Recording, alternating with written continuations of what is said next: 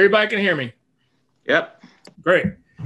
All right. Um, so, welcome to the final presentations, fall 2020 for the urban entrepreneurship class. We're glad that uh, you all can uh, join us. I know our students are uh, anxious to give the presentations and, also probably anxious to have it over with. So, uh, we're going to jump right in. Uh, first of all, I'd like to thank my teaching team partners here. Uh, uh, Reggie Barnett has been an advisor for the course, uh, not only this year, but several years going back. We throw a lot of things back and forth, and he helps me out greatly. Mr. Barnett, uh, JD and MBA from Duke, as any of you students know, and he also went to Notre Dame. Eh. Won the national championship with Notre Dame uh, back in, we won't say when, it was a while ago. Um, and uh, so Reggie's been an advisor for the course, and uh, Sanya, as I mentioned a minute ago, is our instructional assistant. Done a great job this semester. Really been a big help uh, for the class. Um, and I'd also uh, like to thank our urban entrepreneur partners. Uh, two or three of them are on the are on the call. more may join, but one of the things we did this semester uh, in terms of making uh, lemonade from lemons, uh, given that we are in a remote environment, we decided to expand the geographic reach of the course and engage entrepreneurs in more than just Southeast Michigan. So just going down the list, uh, one of our partners is uh, Awuku. He's in, um, he has a company called Macintorch Africa in Accra, Ghana. Uh, Jason Habiger, as we just mentioned, Ride Scoozy in Tampa, Florida. Godwin Ihentuge, Yum Village in Detroit, David Alade, Century Partners Detroit, uh, Nassim Golzadeh, uh, ShotSpotter Technologies out in Newark, California, and uh, Sergio Rodriguez, uh, Tuduli in Detroit. So those are our six uh, urban entrepreneur partners. We have six urban entrepreneur partners and six teams uh, this semester. So I'd also like to thank our uh, guest reviewers, uh, James Fegan uh, was uh, participated in one of the class sessions as a as a guest speaker earlier this semester, and since then he has a new job. He's the director of entrepreneurship for the Rocket Community Fund uh, over in Detroit, and uh, so he's got a really great and and impactful, potentially very impactful position there in the entrepreneurship ecosystem in Detroit. We've got Grace Hsia, who's a co-founder of, of Warmilu and lecturer uh, in the Center for Entrepreneurship. We have Moses Lee, who is a co-founder of Seelio and um, former lecturer in the Center for uh, Entrepreneurship and uh, current owner of the Michigan Language uh, Institute, uh, Michigan Language Center. Uh, and then we have Aaron Tarver, uh, who's the director of member marketing at Spring Health in New York City. Just moved back to New York from uh, uh, being in San Francisco since graduation from Ross School of Business in 2011. And full disclosure, Aaron is my son. Okay, so uh, we've got uh, a great uh, and distinguished group of guest reviewers. And also, again, we are honored to have Christine Gordon joining us tonight. She's the academic director uh, in Center for Entrepreneurship. Okay. So every uh, session this uh, semester, we've started out just describing what we're doing uh, in the session, and tonight is no different. So tonight, uh, our student teams are going to present their final business opportunity presentation to the teaching team, and uh, to the Urban Entrepreneurship Course uh, peers, and to our Urban Entrepreneur partners, and again, of course, to our guest reviewers. And what are our objectives for the session tonight? This is like every other session, we have learning objectives. And so uh, the objectives tonight are to deliver a high quality pitch style business opportunity presentation, to answer the audience questions and receive a performance assessment, and to review and assess the performances of their peers. So uh, that's what's happening uh, tonight. But before that, we have uh, a special treat. in that uh, we have the finals of something we call the perfect pitch. So one of the things there, we wanted to do a couple things this semester. One is, you know, given that we're remote, we wanted to get each, get to know each other, and I certainly wanted to know more about uh, the students who are in the class and have the students know more about each other. But beyond that, I wanted to see them and I wanted them to experience persuading people about something that they're already familiar with, that they're already comfortable with. And so we did that for four weeks. Uh, we had a group of students each week uh, present a one minute persuasive uh, pitch to the class. And each week we selected a winner. And the winner got a few extra credit points. And uh, tonight we're going to take the winners from those weekly sessions and present them all to everybody and you will have a chance to vote on your overall winner. So this is going to take about seven or eight minutes, and we're just going to go through each of these uh, uh, winning presentations from the previous weeks and uh, have you uh, weigh in on who you think uh, was most persuasive and charismatic. And uh, so you might want to just, if you have a pencil, you might want to just make a little note to yourself because it's going to might be hard once you get to presentation number six to remember presentation number one. And so you might want to just say yeah yeah i like this one. Yeah, i like this one a little better. Uh, you know and and kind of keep track as you go through them. So uh, let's see. We're going to start. I got to share a different application with you uh, let's see there we go everybody see the michigan logo and so forth. Okay, here we go. This is uh, perfect pitch session.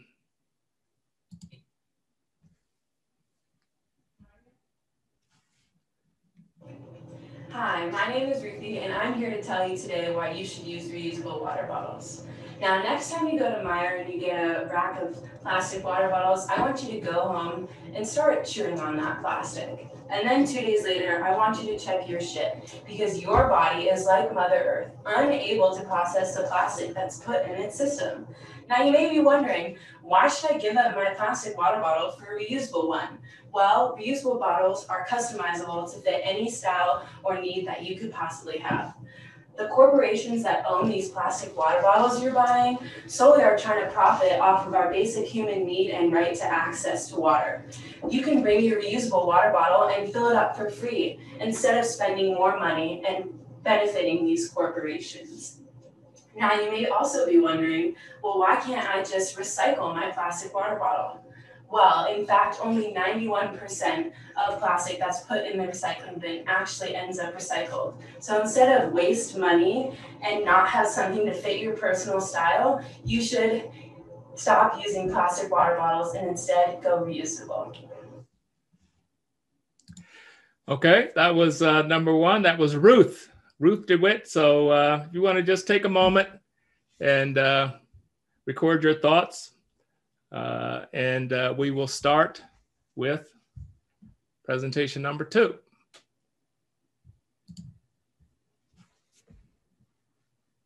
Hi everyone, my name is Steven and today I'm going to be uh, convincing you that I can complete a crossbar challenge, which means I'll kick that soccer ball from 18 yards out, the edge of the penalty area on a soccer field and hitting the crossbar of that goal.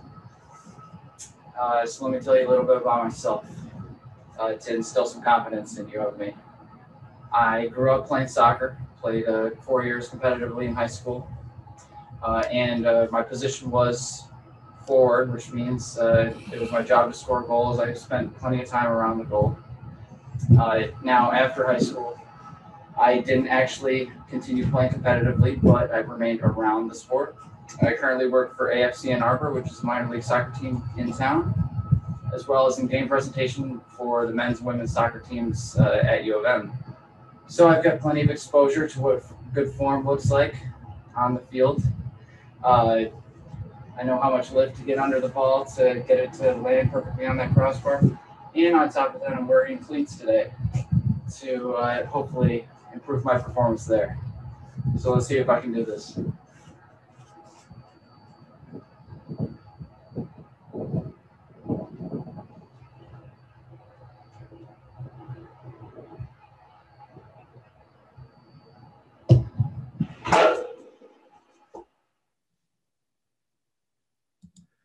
Okay. that was uh, number two. That was Stephen Corcoran. Okay, take a moment, record your thoughts, and we will go to number three. Hello, Nasim.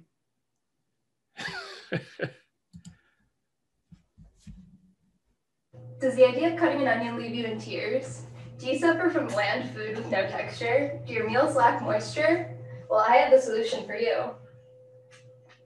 Introducing the proper way to cut an onion, so you never fear putting onions in your food again. With this onion cutting technique, you will shed less tears, keep your fingers safe, and chop faster than ever before. The key is in keeping the root of the onion attached throughout the whole cutting process. The onion expels some of its juice when you cut into it, which is what causes you to shed tears. By keeping the root attached, the onion expels less juice, so hopefully you don't have to add to the number of times you cried that day. Here you can see that the onion stays together while you cut it, which allows you to chop faster and more precisely. This is also why the technique is safer, because the knife and your fingers are less likely to slip. Now you're ready to use this onion cutting technique whenever you need to add some flavor and richness to your food.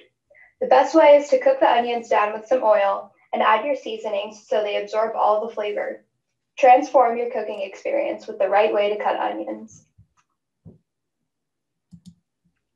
Okay, that was Agostina. And uh, that was number three. And so record your thoughts. And uh, now we will go to number four.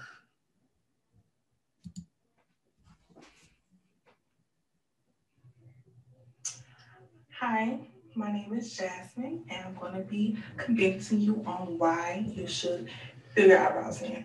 So, I filled it in, and I used a brown pencil from Beauty Supply, and that's the benefit of filling your eyebrows. It's not expensive at all, and you can get the effect that you want. My pencil only costs like two or three dollars, so you definitely can do that as well.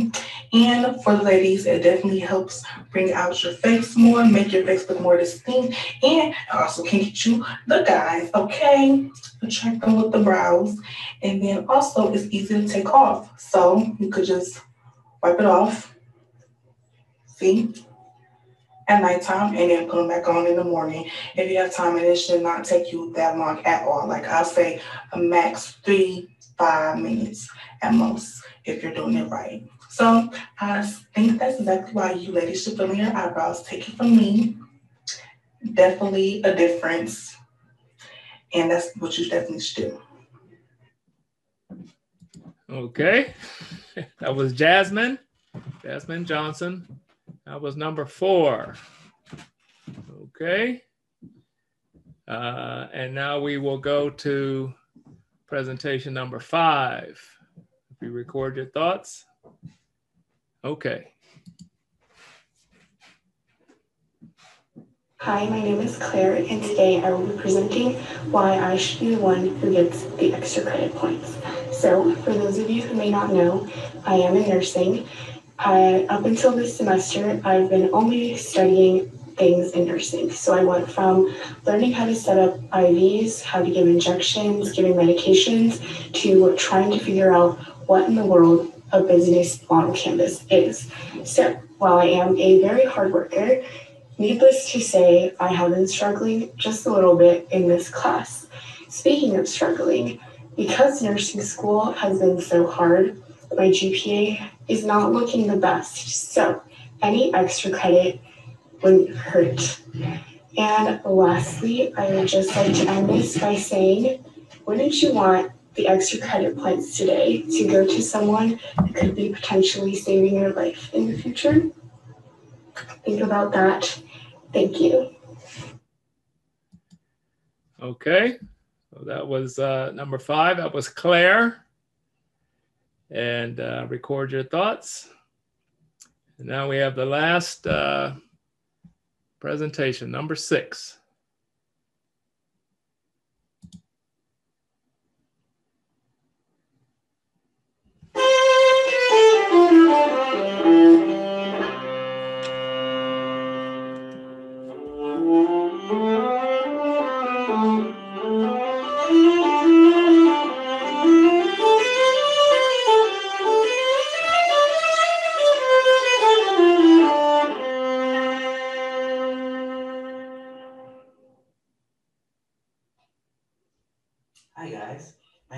Max Moore, and today I'm going to convince you to learn how to play the viola. First and foremost, the viola itself is an expertly crafted display of woodworking, and the art of making a viola has been passed down for centuries. Because of this, it's highly associated with high social class, highly wealthy, and highly cultured individuals, which I think are many things people aspire to have today. Moreover, it has this beautiful, deep, dark, rich tone that could captivate anybody. This is why I think you should learn how to play the viola.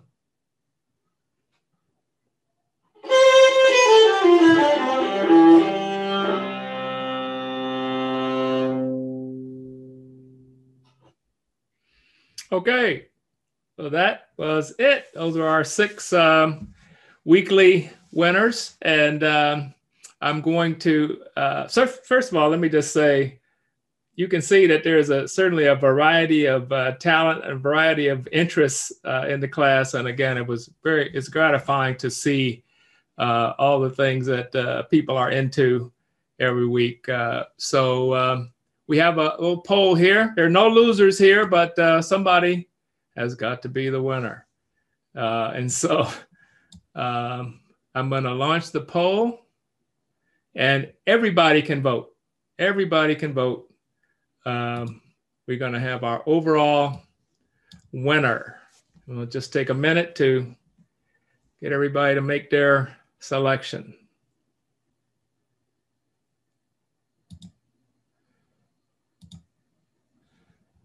There's our results, people.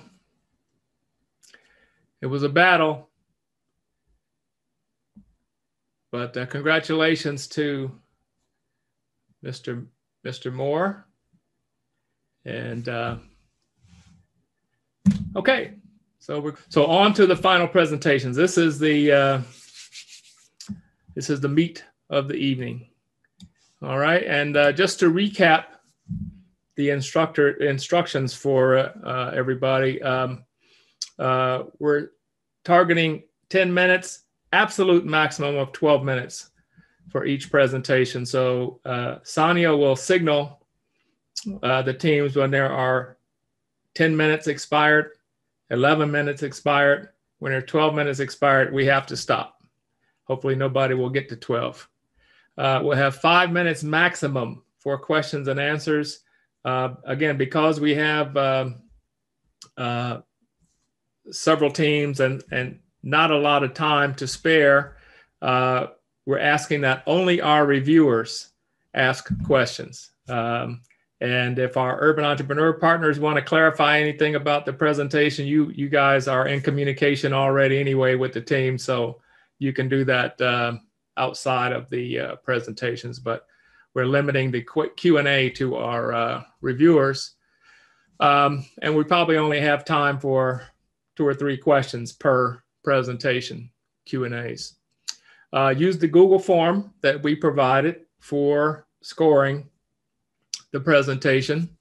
Uh, and uh, what we're asking you to do again is to consider your overall impression of the presentation. How does it hit you? How do you feel about it? you can certainly consider those factors that uh, we included on the assessment form, but I don't want you to get bogged down in the specifics of problem, solution, business model, so forth. I just want you to take in, based on your own expertise and your own feeling, how do you feel about that presentation? How would you grade it from one to 10? Uh, from as far as the parametric review, uh, I have the video. And so the teaching team, after the presentations, we can go through the video and make sure that each of the teams hit the points that we uh, wanted them to hit. But as far as uh, our reviewers, we just want you to, to uh, grade it on how this presentation impacted you. If you feel like this is a, a great business opportunity and if it was presented well. Uh, and uh, uh, even one or two comments left in the comments section on the review form will be helpful uh, to the teams as they go forward. So uh, if you could just leave one or two of your main comments about the uh, the performance. If everybody does that, we'll have a bunch of comments uh, for each team. Okay. Uh, so in terms of the order of presentations, we're going to start with uh, Macintorsh Africa. We're going to go to Ride Scoozy, then Yum Village. We're going to take a break for 15 minutes, let everybody catch their breath. Uh, you can, again, upgrade your, up, update your forms, your assessment and whatnot if you want to do that. And then we'll have the final three uh, presentations. I want, I, I, want to point out two things. One is that uh, you can go back on the form if you need to. Just go back uh, to a, a, previous section if you want to go back and change something. Also, even after you submit uh, the assessment form, you're going to get an email saying you submitted it. There'll be a link in there. If you want to go into that link and go back in and change anything that you submitted, uh, you can do it there. So don't feel like what you uh, put down was the absolute uh, final. We'll give you another 10 or 15 minutes after everything is done to uh, uh, go back and uh, update your uh, responses if you want to do that. So afterwards, we'll give you a few minutes to wrap up and submit the responses, and then we'll adjourn. So that's the that's the program for tonight. Okay. I see we're already running behind. So here we go. um, so uh, we're going to start with uh, Africa, and I'm just going to uh, allow them to share their screen. Hello? Yes. All right. Um,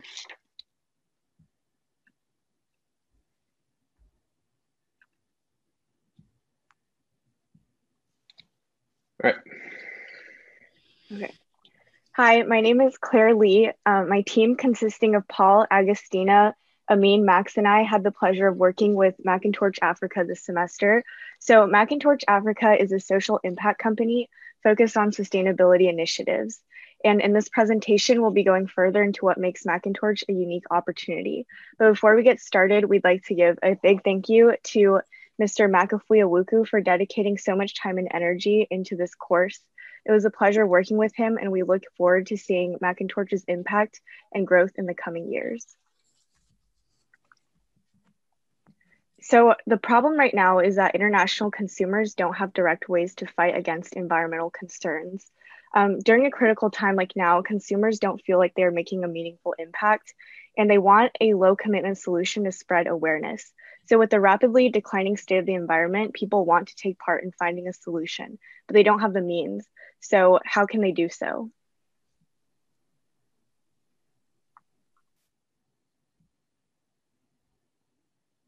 Next slide, please.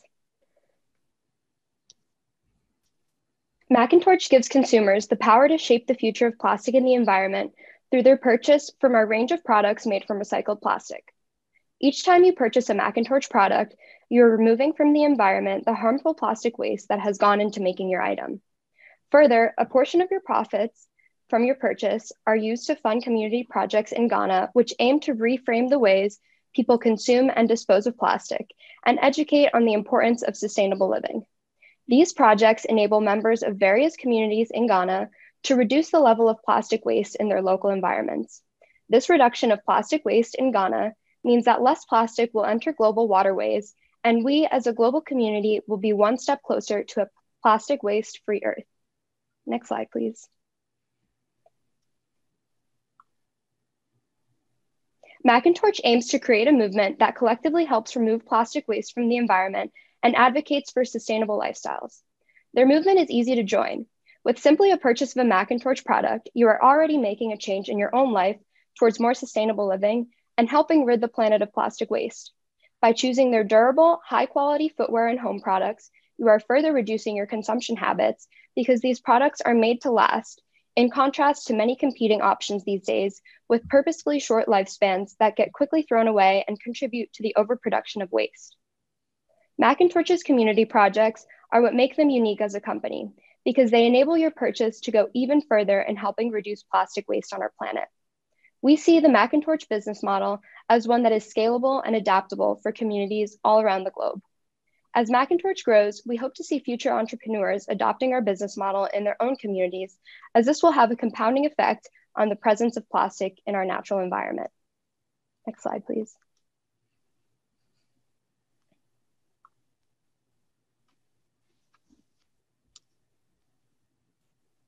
McAfee is the founder and CEO of Macintorch, and he's also one of the first people to develop a sustainable solution like this in Accra.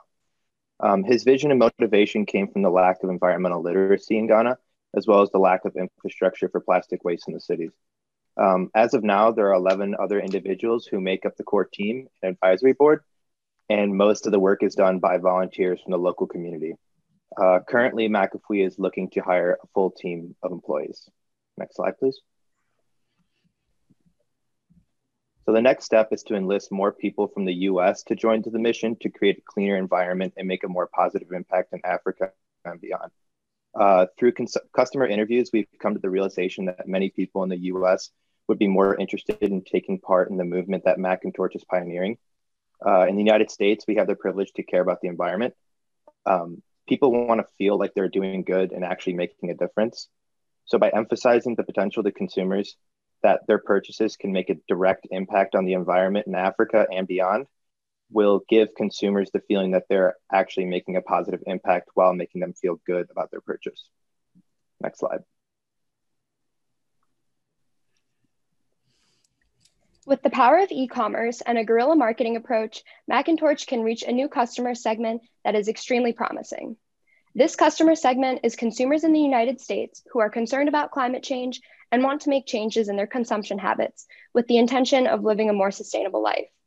Surveys of the market for sustainable consumer goods show a consistent trend of growth at a current rate of 3.5%, and is, it is expected to grow to $150 by the end of 2021. We believe that McIntorch has the ability to break into this market through the use of targeted social media advertisements to sustainably minded consumers.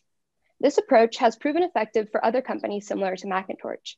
For example, 4Ocean, a company that sells bracelets made from recycled plastic, for which a portion of proceeds are used to fund beach and ocean cleanup efforts. 4Ocean spends millions of dollars on social media advertisements, which has enabled their massive growth in recent years. To give you a picture of 4Ocean's ad spending, they were the 14th largest purchaser of ad space on Facebook. We believe that McIntorch's business model would benefit greatly from a marketing approach similar to 4Ocean. With a guerrilla style approach where viable consumers would be frequently served McIntorch ads in order to gain exposure and be at the forefront of consumers' minds when they go to make sustainable purchases. To make this happen, we recommend that McIntorch find a partner that feels passionate about the mission and who holds the skills and knowledge necessary to be able to target consumers in the United States with advertisements on platforms like Instagram and Facebook. Next slide, please. McIntorch Africa can have a global reach. Um, first off, uh, McIntorch Africa, McIntorch Africa is a part of the environmental awareness industry, which we thought um, meant any uh, person that seeks uh, to raise awareness against environmental injustice locally or internationally. Um, current the current market for uh, McIntorch is in the introduction phase, as there uh, are many people around the world who want to feel like they're advocating against environmental injustice, but they they can't at the moment. Um, and because they're at because at the moment it's only able to reach a smaller market, um, McIntorch has a lot of room for growth, and hopefully it will make the transition from introduction to another um, another stage in the market shortly. And then, uh, as you see on the side here, there's a uh, it's a projected growth of um, of sustainable product sales US. Um, so you could see that um, the the market is definitely growing in countries like the US. Um, how can our business be sustainable? Um, firstly, through customer inter- interviews, um, we have seen that uh, we have seen that um, the uh, cost for the shoes are about 50 bucks because of shipping. Um, and that generated uh, 5,000 in re- revenue uh, from 350 pairs of shoes.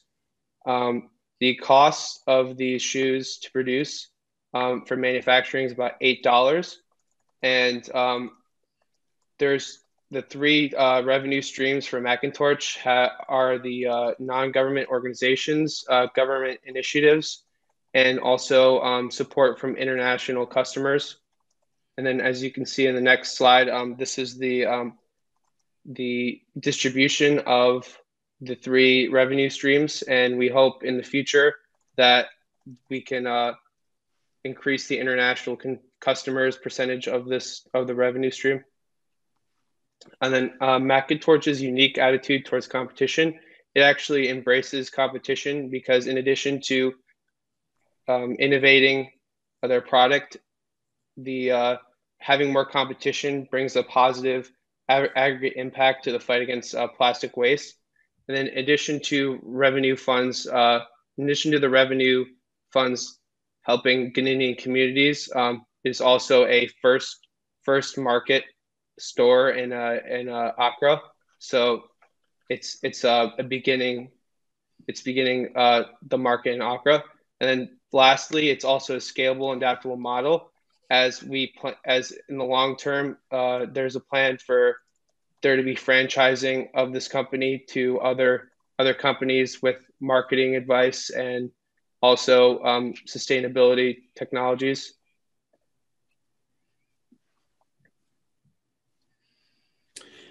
So we're confident that the Mckingtorch Africa business model is successful. We believe that the next step is gathering more customers and building the Mckingtorch Africa community. Through improving their shipping channels, Mckingtorch Africa can make their international shipping costs lower, which in turn will make Mckingtorch Africa products more accessible to consumers. Additionally, adopting a social media marketing strategy similar to the 4Oceans model mentioned earlier will help to bolster Mckingtorch Africa's influence. Lastly, Expanding research capabilities to gather more data about the customer segments will allow for a better allocation of resources. Through taking these steps, we're confident that Mckingtorch Africa can improve upon its already successful business model. Next slide, please.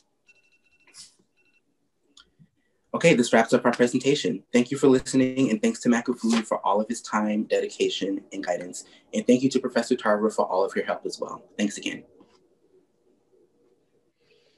All right.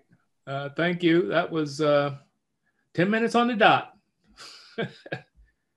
uh, so, uh, questions? Any questions for the Mckingtorch team?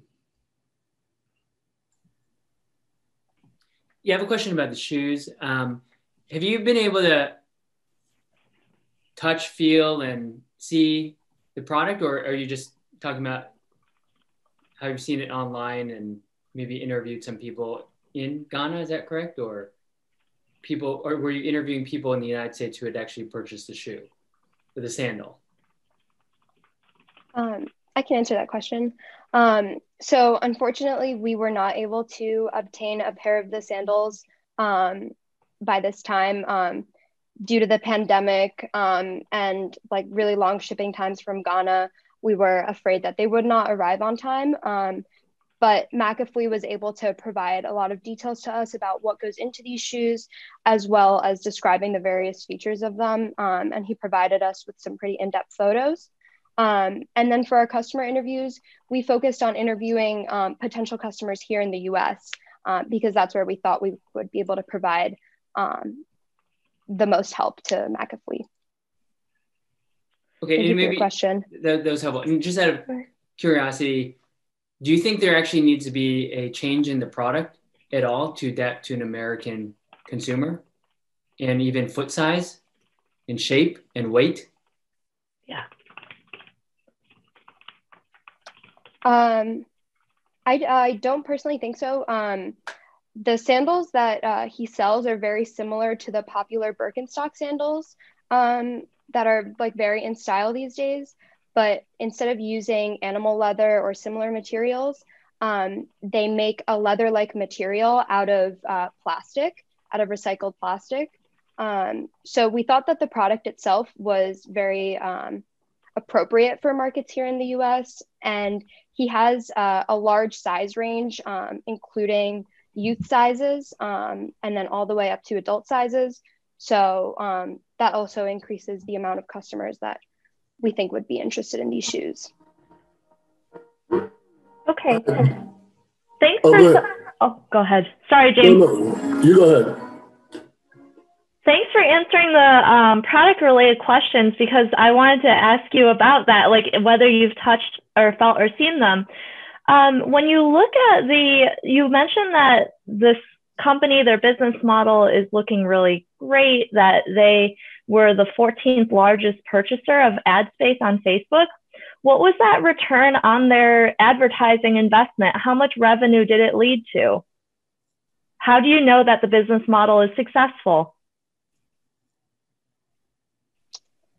Um, I do not have those numbers uh, off the top of my head, um, but from the research we did into 4Ocean, um, we saw that when they start when they increase their ad spending, um, they actually gained a larger customer base. And in recent years, with the improvement of targeted social media advertisements and the ability to better hone in on a specific customer segment, um, they experienced even more growth than at the beginning stages of their company.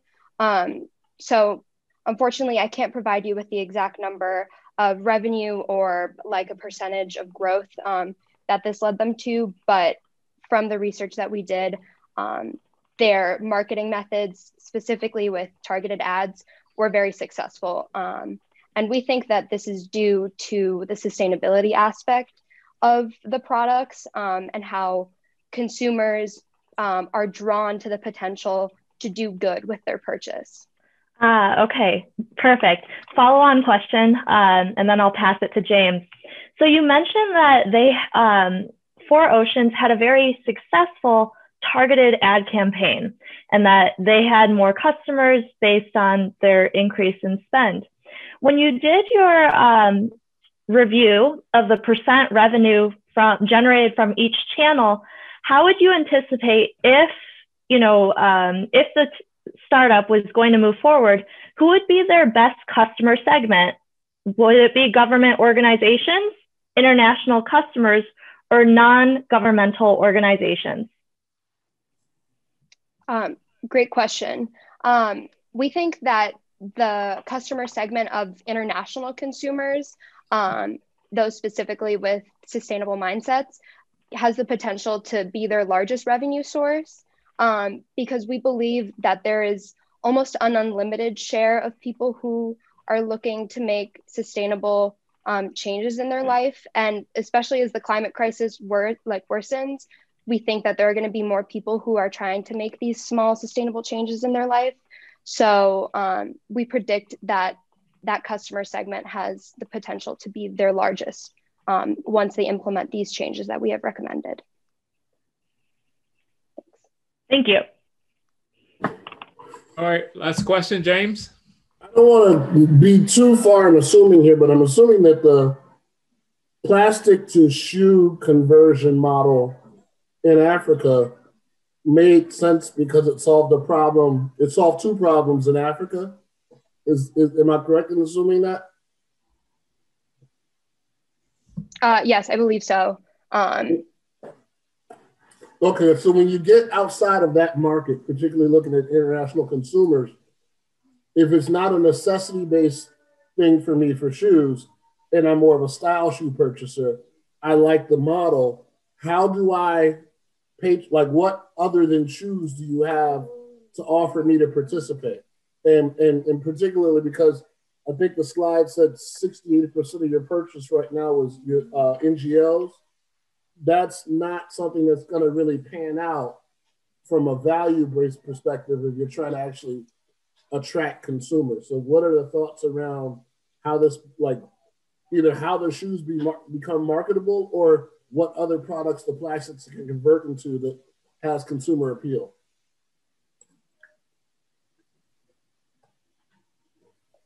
Um, I know I'm putting you on the spot as no worries. Um, Welcome yeah, I just wanted to give. yeah, of course. I want to give other people on my team an opportunity um, to maybe chip in. Um, but we think that um, the kind of like what's going to attract international customers um, is more so Mckingtorch's mission and the good that um, the like your your purchase can do um, in Africa um, for people in those communities who are learning about sustainability and learning about how to be responsible with plastic waste. Um, but more so about the product itself, we think that there is a big potential for some of Mckingtorch's other products, which include like tote bags or backpacks or like small, um, like kind of like pencil case type pouches, um, where that would be at a cheaper price point and more possibly valuable to other customers. Um, like you said, maybe some who choose shoes more from a fashionable standpoint. Um, so we think that once they get into this targeting, um, we hope that they'll be able to figure out how um, which consumers would be interested in shoes based on their purchasing habits and which consumers would be more interested in some of Mckingtorch's other products. Um, and then really nailing home um, like how how much their purchase is impacting people's lives in Africa and also how the shoes or the products themselves take a portion of plastic out of the environment. All right, that uh, our time is up for questions, but uh, those are some really good questions, and um, maybe you guys, while while they're um, uh, doing their uh, assessment, can put up a picture of uh, one of these shoes. These are some stylish looking shoes. They're not uh, they're not low end. Um, but at any rate, um, we'll give you uh, a couple minutes to wrap up your assessments.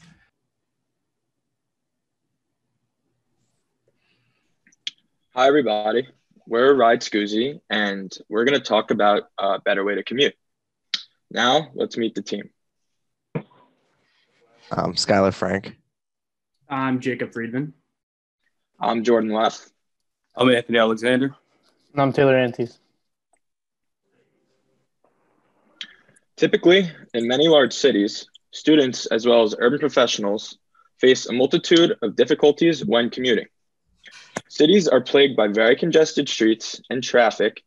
In addition, public transportation is very unsanitary and an unreliable form of travel.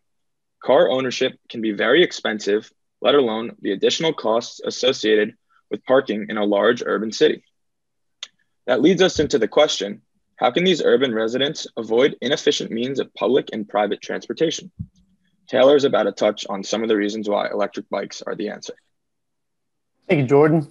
Oops, excuse me. Sorry, got a little too excited. So, um, kind of Jordan said, we're going to talk about um, electric commuter bicycles in general, for those of you who don't quite know. So, these bicycles are very small, they're compact, and some of the key innovations of them is that they have effortless and sanitary travel, especially during this unprecedented time with COVID 19. You want to have as much private transportation as you can. And if you're not able to afford a car or something of that nature, these are a great option to get from point A to point B. Kind of along that same line, it enables a flexible schedule for you to go to your destination, whether that's a school or to work, wherever it may be, at any time you need. And when you go there, you'll have great outdoor engagement which is just great in general. So as you think about it, you think, why ride Scoozy? So Ride Scoozy's key innovation for this is that the bikes are very full. The foldability of the bikes is very good. They fold down to a 35 by 19 by 29 inch bicycle, which for reference is able to fit under your office desk or in your closet door. So whenever you're not using them, it can be safely stored away. These bikes have a 30 to 50 mile range and a three to five hour battery life. And as I mentioned, the foldability is one of the key aspects, and along with the ability to ride at night due to the LED lights. They're a supreme rider experience and have supreme customer support. And not only that, when the bike comes to you, it's 99% assembled, so there's not much that you have to do. Now I'm going to pass on to Anthony. Thank you, Taylor. So, how do you get to this Ride Scoozy bike? First, initial customer uses the Ride Scoozy website provided on a platform by GoDaddy which he or she is able to browse through different products.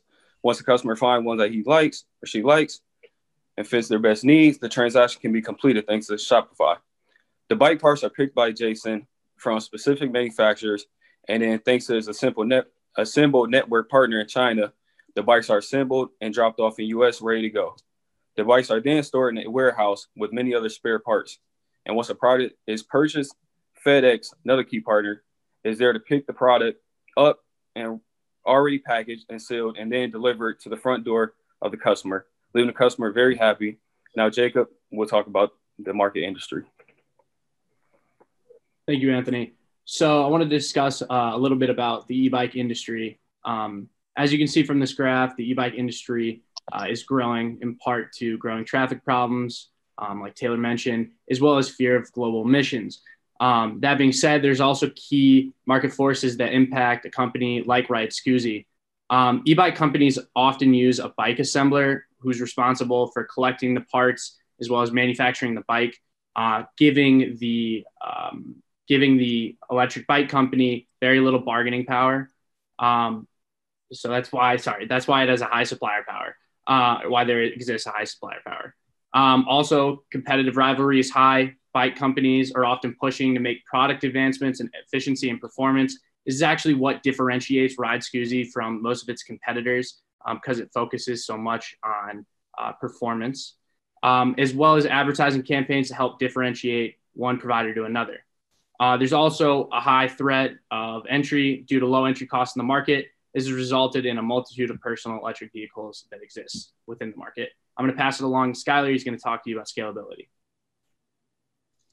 Yeah. So, as a potential investor, the main thing you care about is well, what kind of profit can I look at or can I look to make?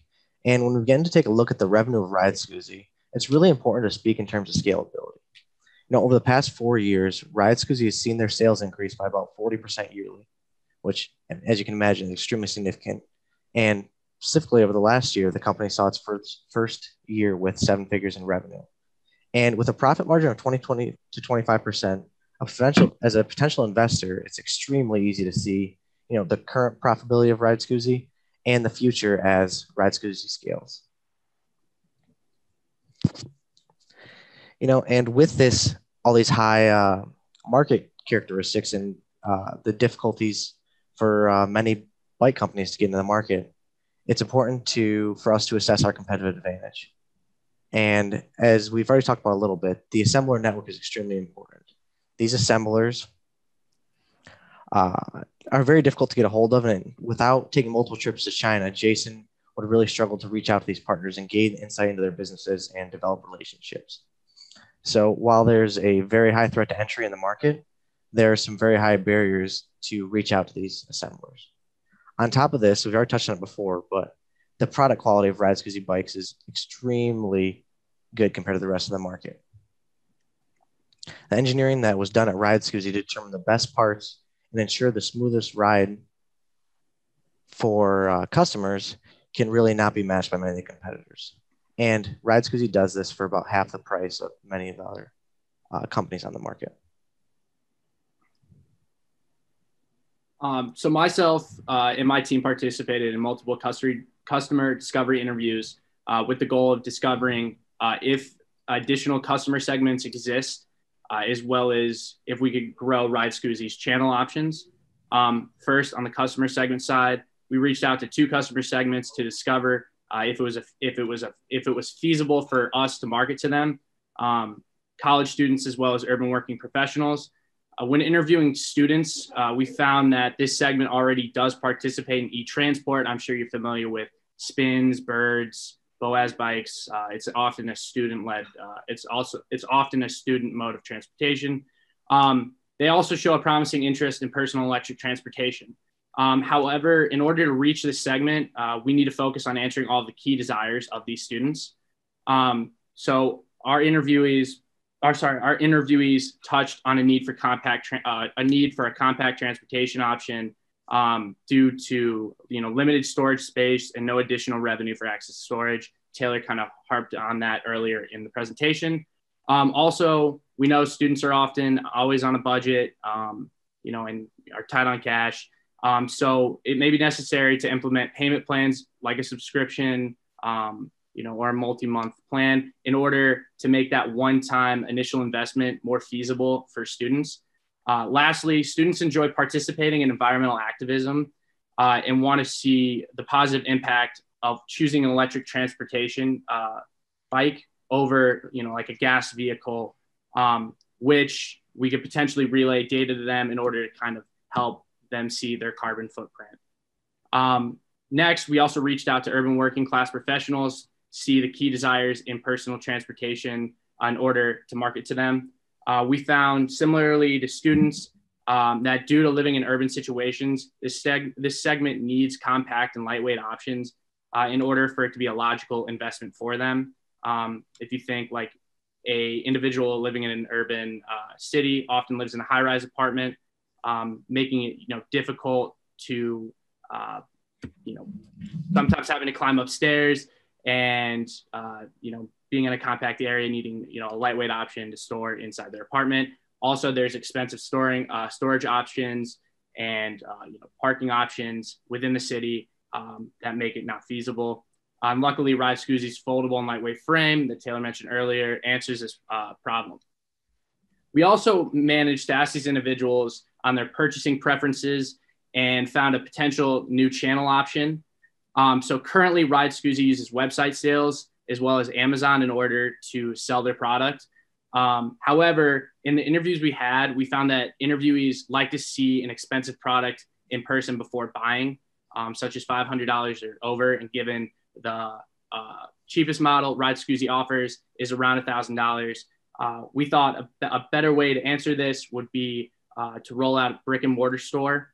Um, and then, sorry, excuse me, customers can then face, uh, can then be face to face with the product. The product can actually sell itself rather than seeing it on a uh, computer uh, or a you know mobile phone. Also, salesmen can answer any press- pressing questions uh, that the consumer may have, making them more confident about purchasing the bike um, and going forward with that. I'm going to pass it on to Skylar.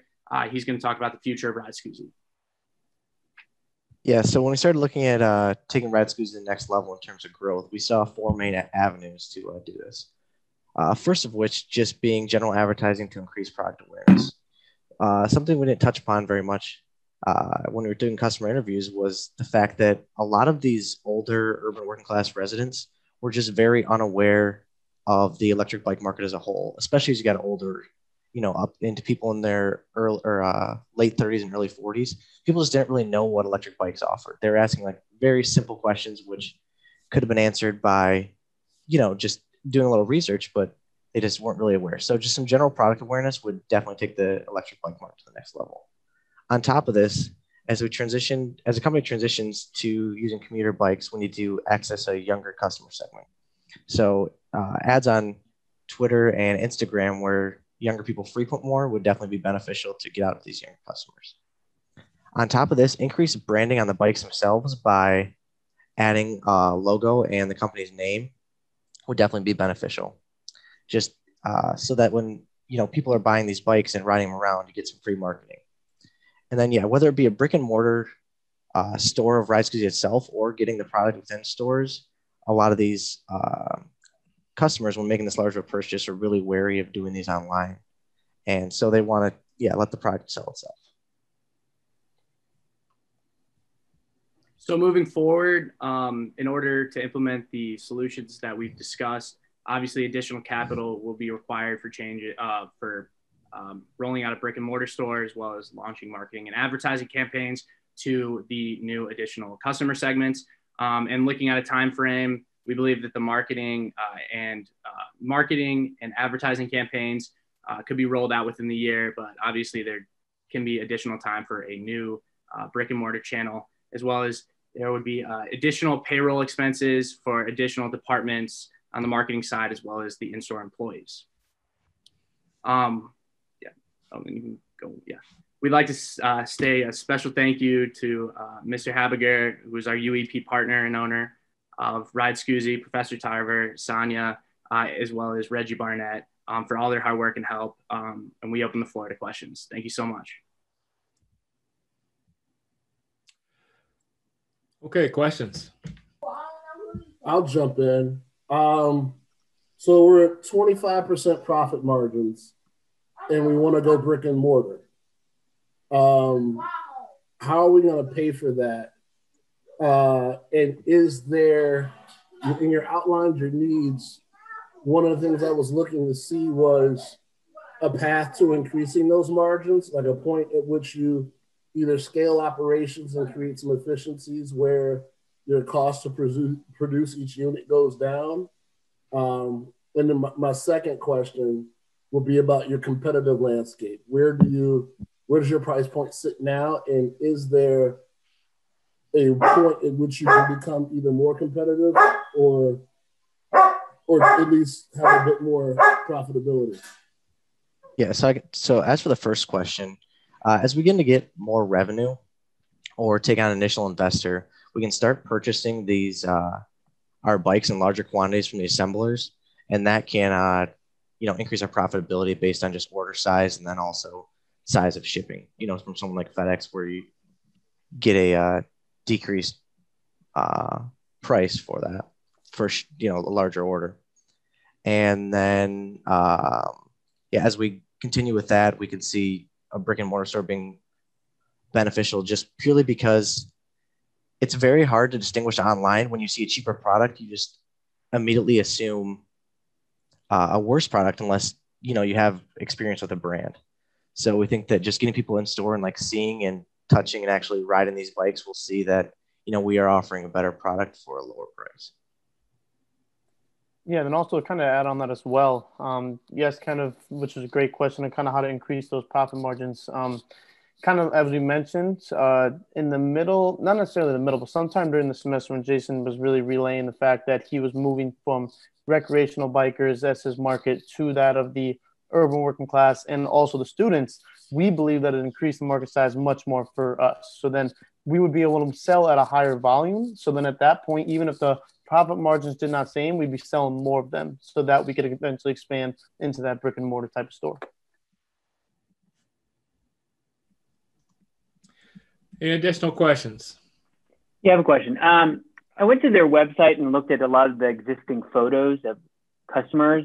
It does appear to be um, a more of a older, less mobile population that would buy these bikes. Because, in then I'm just curious if like, I'm just thinking maybe the customers you interviewed potentials would prefer a mountain bike for its exercise and their ability to continue to use a bike that they can pedal versus an electric bike. Just because looking at the photos, it does seem like they're targeting an older population with their product. Did you get any feedback on that when you did your customer interviews or thoughts? Is this competing with the traditional mountain bike in the segment that you're looking to expand into? Yeah, and that that's also a great question as well. It's funny you say that. I uh, in one of the customer discovery interviews, um, a good friend of my dad's back home owns a one of the oldest bicycle stores in our city. Um, it's kind of a smaller city, but I had a conversation with him as our discovery interview, and one of his main clients, who a lot of them are older and kind of the pedaling types that you see, and the specific one that I talked to said that he used to ride a ton, in a sense that he began to kind of not being able to catch or keep up physically, I should say.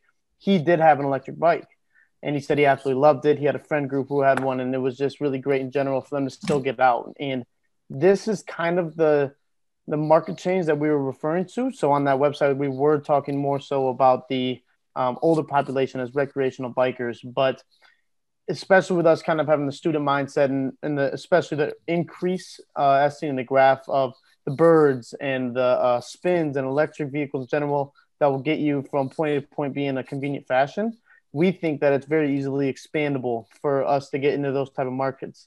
Um, and I know a lot of us also kind of talk with um, in our second rounds, especially the recent graduates in big cities. Um, now, a lot of people on the East Coast, because of the weather, had not heard much of it because they couldn't use this uh, season, excuse me, year long because of the seasons.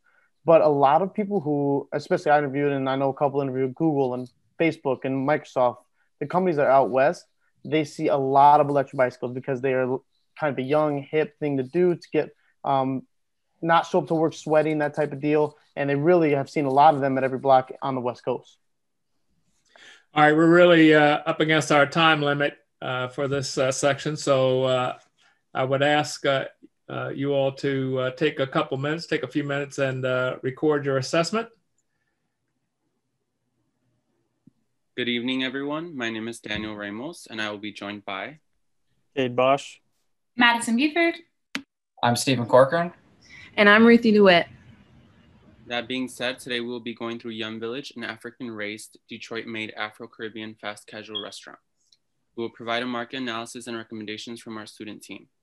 This presentation is made with special thanks to Godwin, the chef, owner, and operator of Yum Village. That being said, let, us dive into the problem. From Godwin's perspective, there needs to be an affordable option for people that is healthy, sustainable, and convenient. In the fast casual industry in Detroit, there's a lack of options where quality and healthiness meets convenience and speed, and where culture and authentic offerings meet easy accessibility. Currently, most food spots are quick but not of quality. Restaurant diversity is limited with little representation of African cuisines for curious consumers.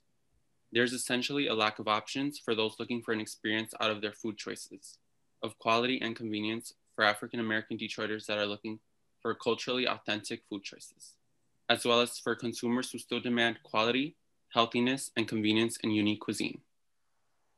Fast food, fast food restaurants are fast casual but not of quality. That being said, um, let's jump into why Yum Village. Yum Village benefits from having a second generation Nigerian and authentic chef at the helm. It's Black owned with local roots. Additionally, the restaurant stands behind its slogan, African raised, Detroit made. The fusion of authentic cuisine with Americanized elements may be more palatable to new potential customers. Let's meet the team. Godwin is the chef, owner, and operator, and our awesome entrepreneurship partner this semester. Having Godwin at the helm is crucial to the Yum Village team in terms of its organization and enthusiasm within the restaurant. Yum Village's small team includes about half African immigrants joined in union with its American employees. The chef that brings knowledge and expertise to food production offer high value to the operation of the restaurant. One hole in the team that could be filled is a digital platform manager, which we'll be discussing later in our presentation. Now, you may be wondering, who loves Yum Village? Well, besides Professor Tarver, Yum Village primarily serves the female cultural traveler, a 22 to 48 year old woman that is not satisfied with a simple routine diet. She is curious about international cuisines and is quality minded, generally seeking out healthy foods. Secondarily, the restaurant serves people in the African diaspora in Detroit. These folks lack quality options for ethnic foods outside the home, and they also lack the potential to connect on a cultural level through food and to build on their customer experience. Yum Village's immediately serviceable market is the New Center Detroit neighborhood, which has approximately 1,500 people, with a 25 minute delivery radius determined by their delivery partners such as Grubhub, Uber Eats, and Postmates. In theory, scaling and franchising could begin to service the greater Metro Detroit area, which consists of 4.3 million people, with the total area with demand for fast casual food being much larger. Yum Village sees a low threat from direct Afro Caribbean competitors, with higher danger coming from indirect substitutes that rely less on niche goods that are often more expensive, attracting their potential buyers with lower prices, although paired with lower quality ingredients. So, focusing on the business model, it's important to look at the revenue, website appeal, and the digital footprint. Currently, 85% of Yum Village's revenue comes from online sales due to shifts with the pandemic. However, the business's traditional revenue sources center around restaurant sales as well as purchases of market goods from the on premise commissary. The main channel for engagement, the website, has now become crucial for sales. We believe that having a larger digital footprint that has better engagement with followers would help create a base of customers and further expand Yum Village.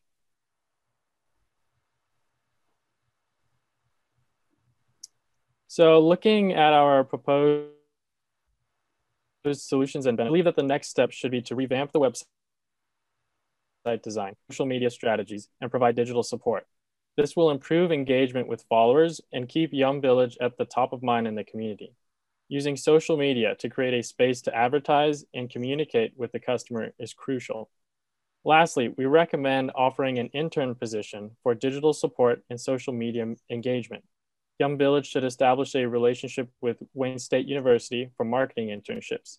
This would allow Godwin as the founder to stay operation focused, giving the digital responsibility to someone who is tech savvy to bring consistency to the branding while saving on personnel costs.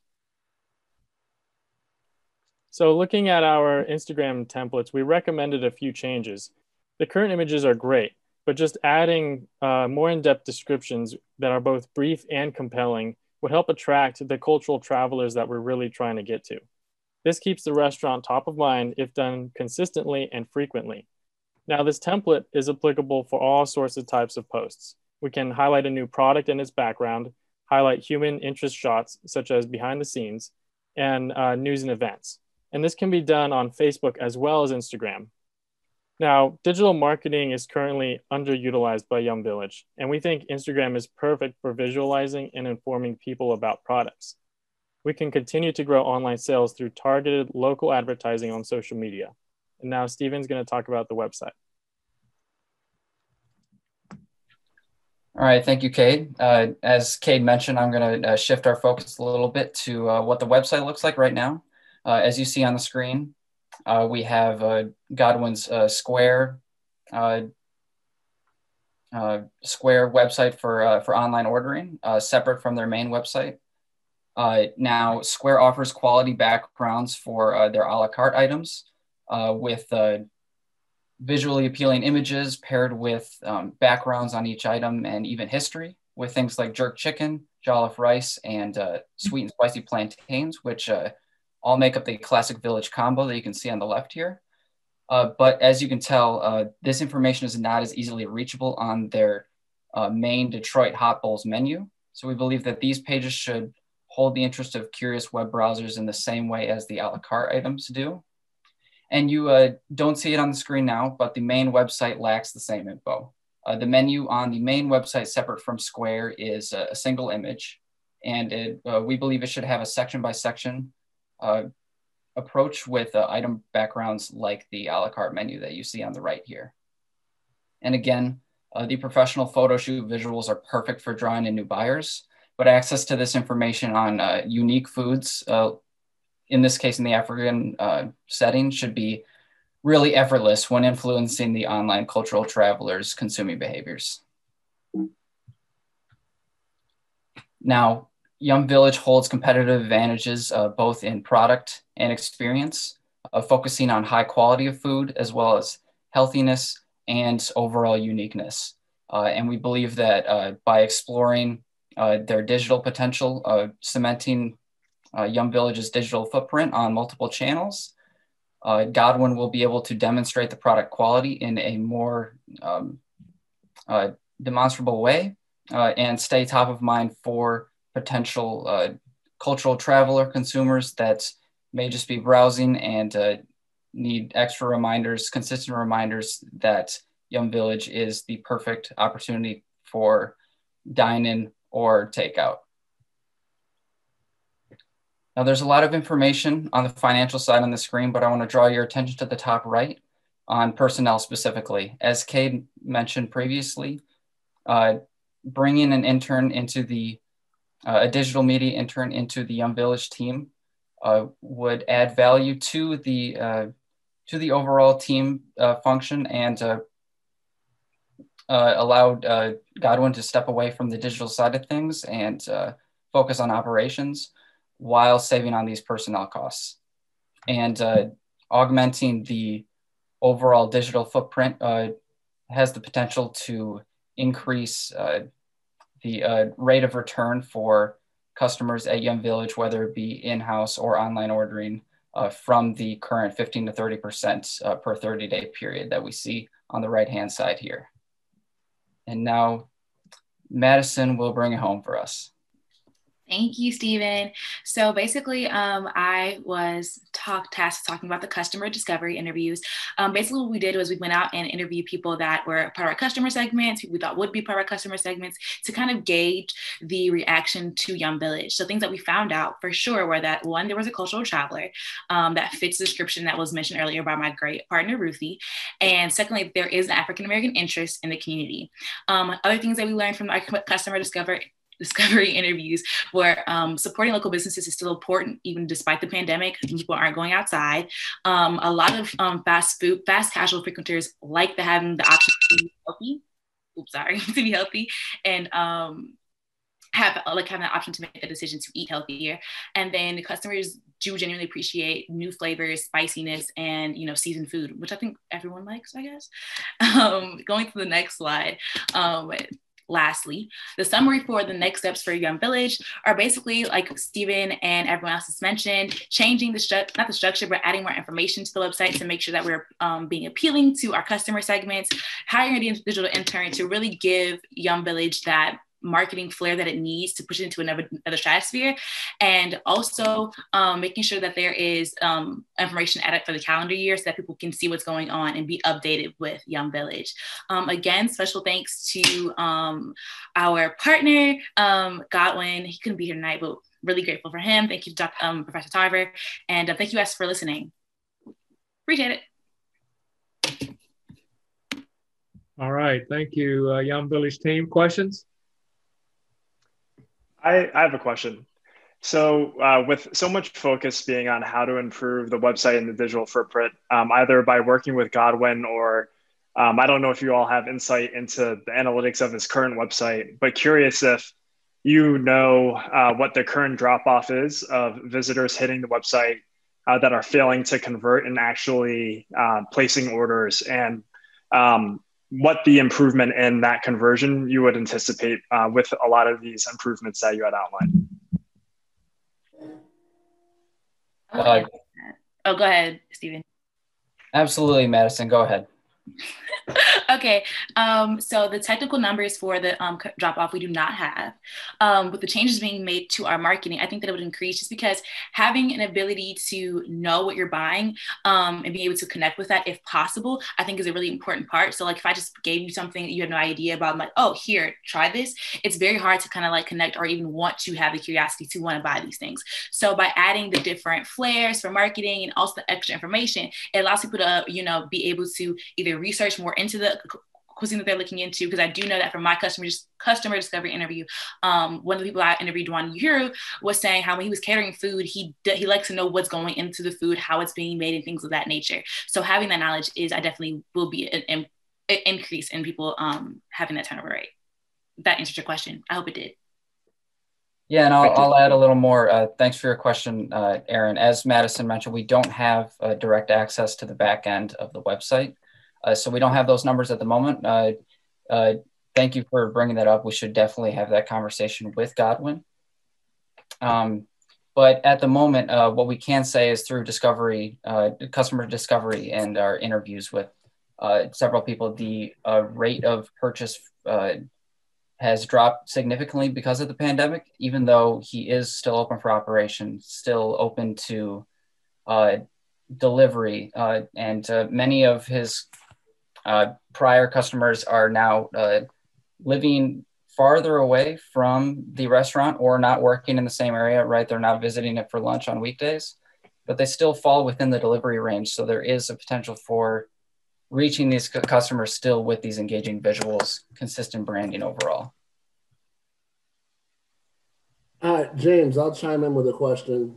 Um, interesting perspective. And I was a skeptic on the idea that improved digital engagement could support Godwin because he is very digitally engaged, but you sold me. Um, so moving on from that, um, you kind of presented the problem uh, or the opportunity of this 25 mile radius in, in, in the trade area. Um, you half solved the problem of freeing up his time and improving the digital footprint and he said to free him up to focus on operations, but you didn't really talk about how he actually scales. Right. From our uh, conversation with Godwin, he uh, does not have immediate plans to scale, uh, although his uh, eventual vision is to uh, move the restaurant beyond its current state and turn it into a full marketplace. Uh, he just compares it almost to Trader Joe's concept um, but at the current moment, uh, we uh, chose to focus away from uh, scaling the business uh, in that sense, uh, simply because it's not in Godwin's vision at the moment.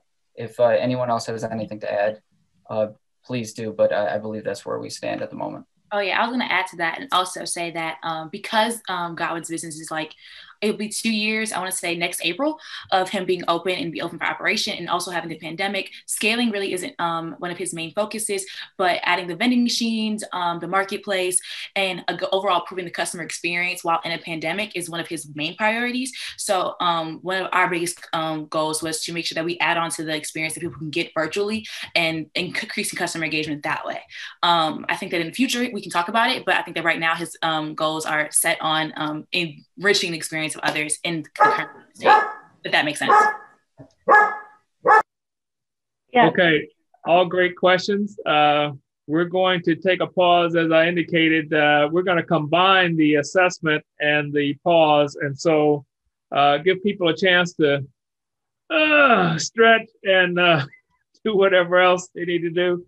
We're going to reconvene promptly, very promptly, at 8:10. And so we have uh, Century Partners, then ShotSpotter, and then we finish up with Teduli. All right, so promptly at 8:10, we will reconvene. And uh, so go ahead and complete your assessment of uh, Yum Village, and uh, we'll be ready to start in a few minutes. Hi, my name is Jasmine Johnston, and I'm going to be presenting on the behalf of Century Partners with the rest of my team, Nathan, Chloe, Sarah, and Reese. So as I said before, my name is Jasmine and I'm 21 years old and I was born and raised in Detroit. Detroit has definitely changed drastically over the years. The Detroit I know is definitely different from the Detroit that my family knows. My grandfather, he worked at Chrysler since the age of 18 and during around this time, like the 1950s, Detroit was a booming. We had businesses, jobs, and just a lot of economic growth in the city. And in the early 2000s when the recession hit Detroit, this reality changed drastically for the people that lived in Detroit, especially for me, because I grew up when Detroit was facing a major decline. There were a lot of uh, lack of jobs and the the housing market took a major hit. So much that my uncle house foreclosed and he had to stay with me and my mom. And that's why my mom continues to rent till this day. And growing and when I get older for my kids, I don't want them to experience that. And I want to be a homeowner and be able to change that reality for them. So now I'm going to pass it off to Reese just to discuss this a little further. Yeah, thank you, Jasmine. So much like her family has gone through, many people have witnessed or even experienced the pains from the decline and eventual bankruptcy of Detroit in 2013 Many Detroiters li- were living in poor conditions in areas with high crime rates and suffering from poverty. However, some of these Detroiters and some of those who witnessed this decline have money and want to help revitalize the city. Yet, when these people began to seek mediums to help, they were faced with the lack of opportunity to do so because they did not have the available cash reserves, which the city was seeking from private investors. And this brings us to the issue that uh, Century Partners is addressing, which is how there's a lack of desi- uh, safe and desirable neighborhoods in Detroit for recent college graduates, senior citizens, working class individuals, and families, as well as a lack of investment vehicles for investors, especially those native to Detroit, in order to contribute to their own community development.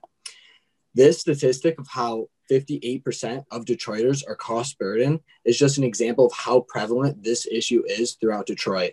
And with that, I would like to pass it off to my colleague, Nathan Ullman, uh, to take it over from here.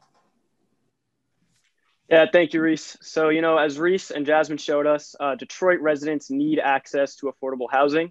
And there are investors in Detroit who have the capital to help solve this problem, but there's a shortage of investment vehicles for them to invest in. So the missing piece is that middleman. It's that urban entrepreneur who can connect the residents with investors and put their money to use. So this is where David Alade and Andrew Colom come to save the day. They are the founding partners of Century Partners. They're two Columbia University graduates who moved to Detroit in 2015, and they both fell in love with the city. And you know, they saw the same problems we mentioned earlier, and they actually have the tools to help. So David worked on Wall Street for eight years and mm-hmm. Andrew started a, started a successful real estate company in Mississippi before moving to Detroit. And now they're combining this expertise in real estate and in finance, you know, their superpowers to raise real estate investment funds where they're pooling equity and some debt financing from investors, and they're using that capital to invest in high quality, affordable residential properties. So, just to recap, David and Andrew have identified these two problems that they can solve, but they've also identified a nearly $4 billion business opportunity. We talked about how, you know, urban entrepreneurship is more than just doing good for your community. It's about making a profit too. And, you know, Century Partners can do just that by tapping into this total available market of over $3.75 billion. So that said, you're probably thinking by now that if there's that much money to go around, this market must be mature and maybe even oversaturated. That's not the case though. It's actually still growing. And that's because many investors think Detroit is a riskier market than it actually is. So this keeps potential competitors away from the market, but at the same time, it makes it harder to raise equity for these investment funds. But again, David and Andrew have this extensive Wall Street and real estate background to draw from. So they are positioned to take advantage of this complex opportunity. It's also a potentially rewarding opportunity in ways that other real estate managers are not.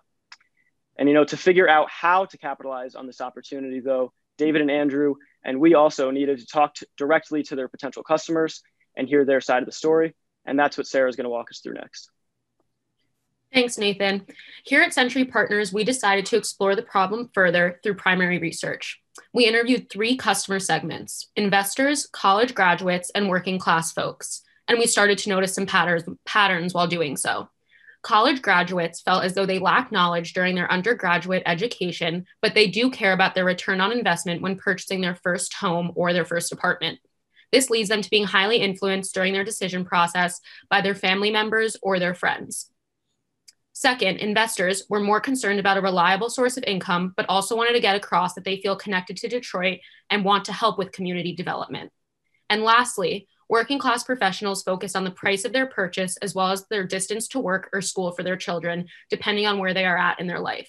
So, with these, we saw that Century Partners could solve the pains that these customers were feeling. And in fact, one of the individuals we interviewed said that they like to go and visit an area and get a feel for the community before they decide to live there and one of the investors we interviewed said that they can make money and still do good things for their community. Century Partners wants to meet these needs by providing affordable housing in safe and desirable neighborhoods while also allowing clients home ownership and rehab properties. We offer investors a high return on investment, and we also put an emphasis on social justice through community development. Now I'm going to pass it off to Chloe to touch upon our financials and future plans here at Century Partners. Thanks, Sarah. So now I'll break down the revenue and the cost for Century Partners. Our team estimated the total revenue to be around $3 million. And we derive this revenue mostly from fees. So these are fees such as acquisition fees, management fees, and developer fees.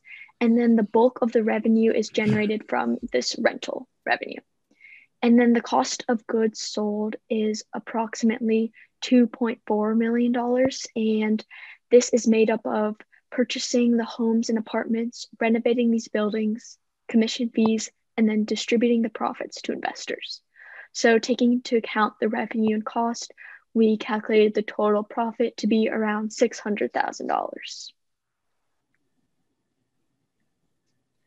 And moving on to our business model improvements for Century Partners, we identified three key areas in which Century Partners could improve upon. The first is alternative sources of revenue. So these are things such as bike rentals and maintenance options for not only rental tenants, but also buyers. The second um, suggestion is for Century Partners to collaborate with other managers on joint ventures.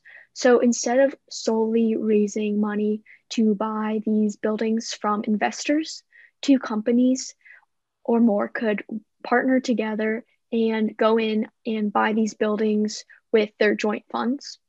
And so this would help Century Partners gain access to some bigger potential investment opportunities. And then finally, Century Partners, when pitching to investors, can focus on Detroit pride and tap into the investors' connection to the city. And so Century Partners is excited about all of these suggestions. And then future expansion for Century Partners. Century Partners has identified all of these cities on this map as cities that are on the brink of a housing crisis.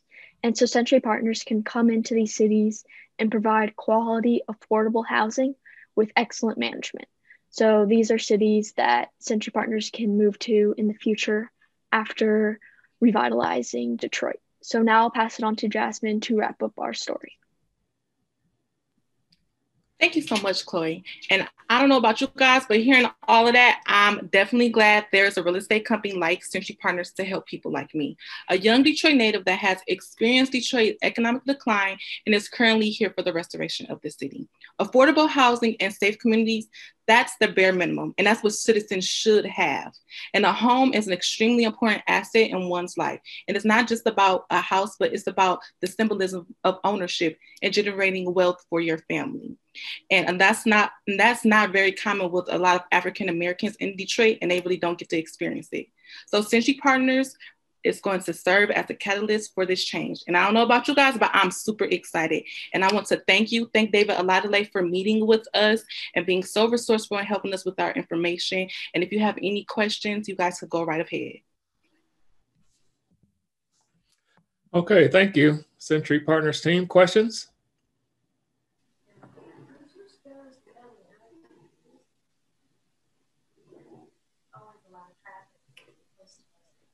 Can, can you describe some of the properties that they have? I, am just wondering what they look like. I don't know if you have some pictures, what the, their current assets yeah, are.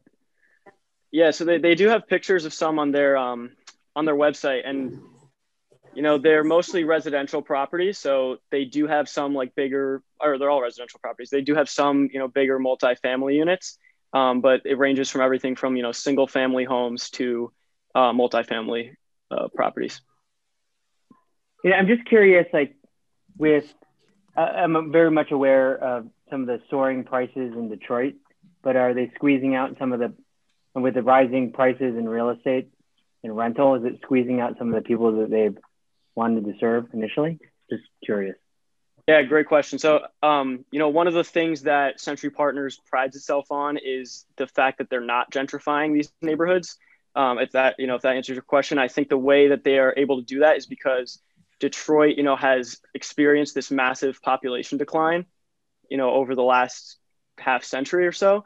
Um, and that means there are a lot of abandoned properties. There's a lot of space and not as many people. So rather than pushing people out, they can just, you know, tap into that open space and, and invest there. And that allows them to, you know, build up the neighborhood without, you know, forcing people out of their homes.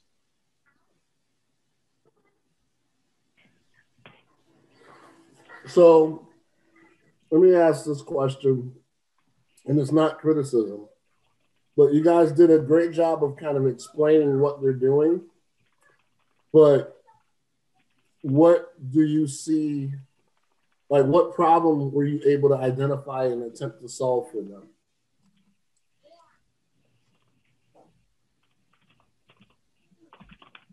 Yeah, so I think that we um, we try to touch upon this in our uh, roadmap right there. Yeah, so um, I think that one thing we we kind of thought of that wasn't just specific to Century Partners even is that you know obviously during COVID, um, a lot of people are unable to pay their rent, um, and you know that that begs the question, you know, what other revenue streams does the company have to support itself? So you know there are a lot of fees that Century Partners is receiving, um, and you know they're they're still getting a lot of the rent payments, but uh, we thought that it would be helpful to add some other you know revenue streams and get some more cash flow going. Um, and you know we identified some some small things but just things that could be implemented pretty quickly. So you know there are bike trails in a lot of these century partners neighborhoods. So we thought they could offer bike rentals um, just things like that almost like a um, you know maybe they could get ride Scoozy to put put a bike rental station in that neighborhood uh, something like that. And then you know in terms of our customer discovery process we did realize that um, we thought it was kind of, I guess, underrated is, is the word to, um, that a lot of these investors that were looking to invest in Detroit, you know, had this connection to the city and they had a real pride for the city. So we thought that, you know, tapping into this rather than just marketing Century Partners funds as, as typical real estate investment funds would really help to, um, you know, garner some more support. So by that, do you mean offering their service effectively as a, a navigator of the market? Sorry, can you repeat that for me?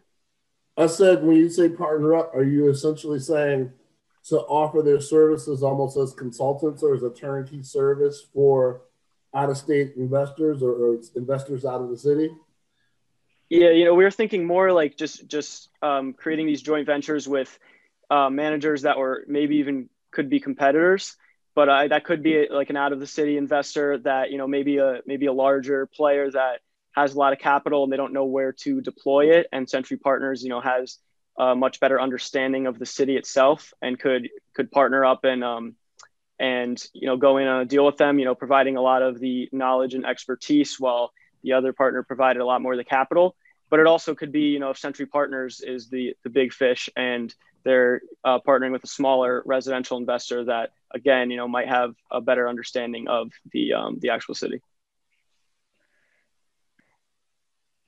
that's really interesting thank you yes uh, speaking of um, a few things, but Moses brought up a really good point about um, gentrification in uh, Detroit. Having lived there, so I was not born and raised there, uh, Jasmine, but I've lived there for the past two years.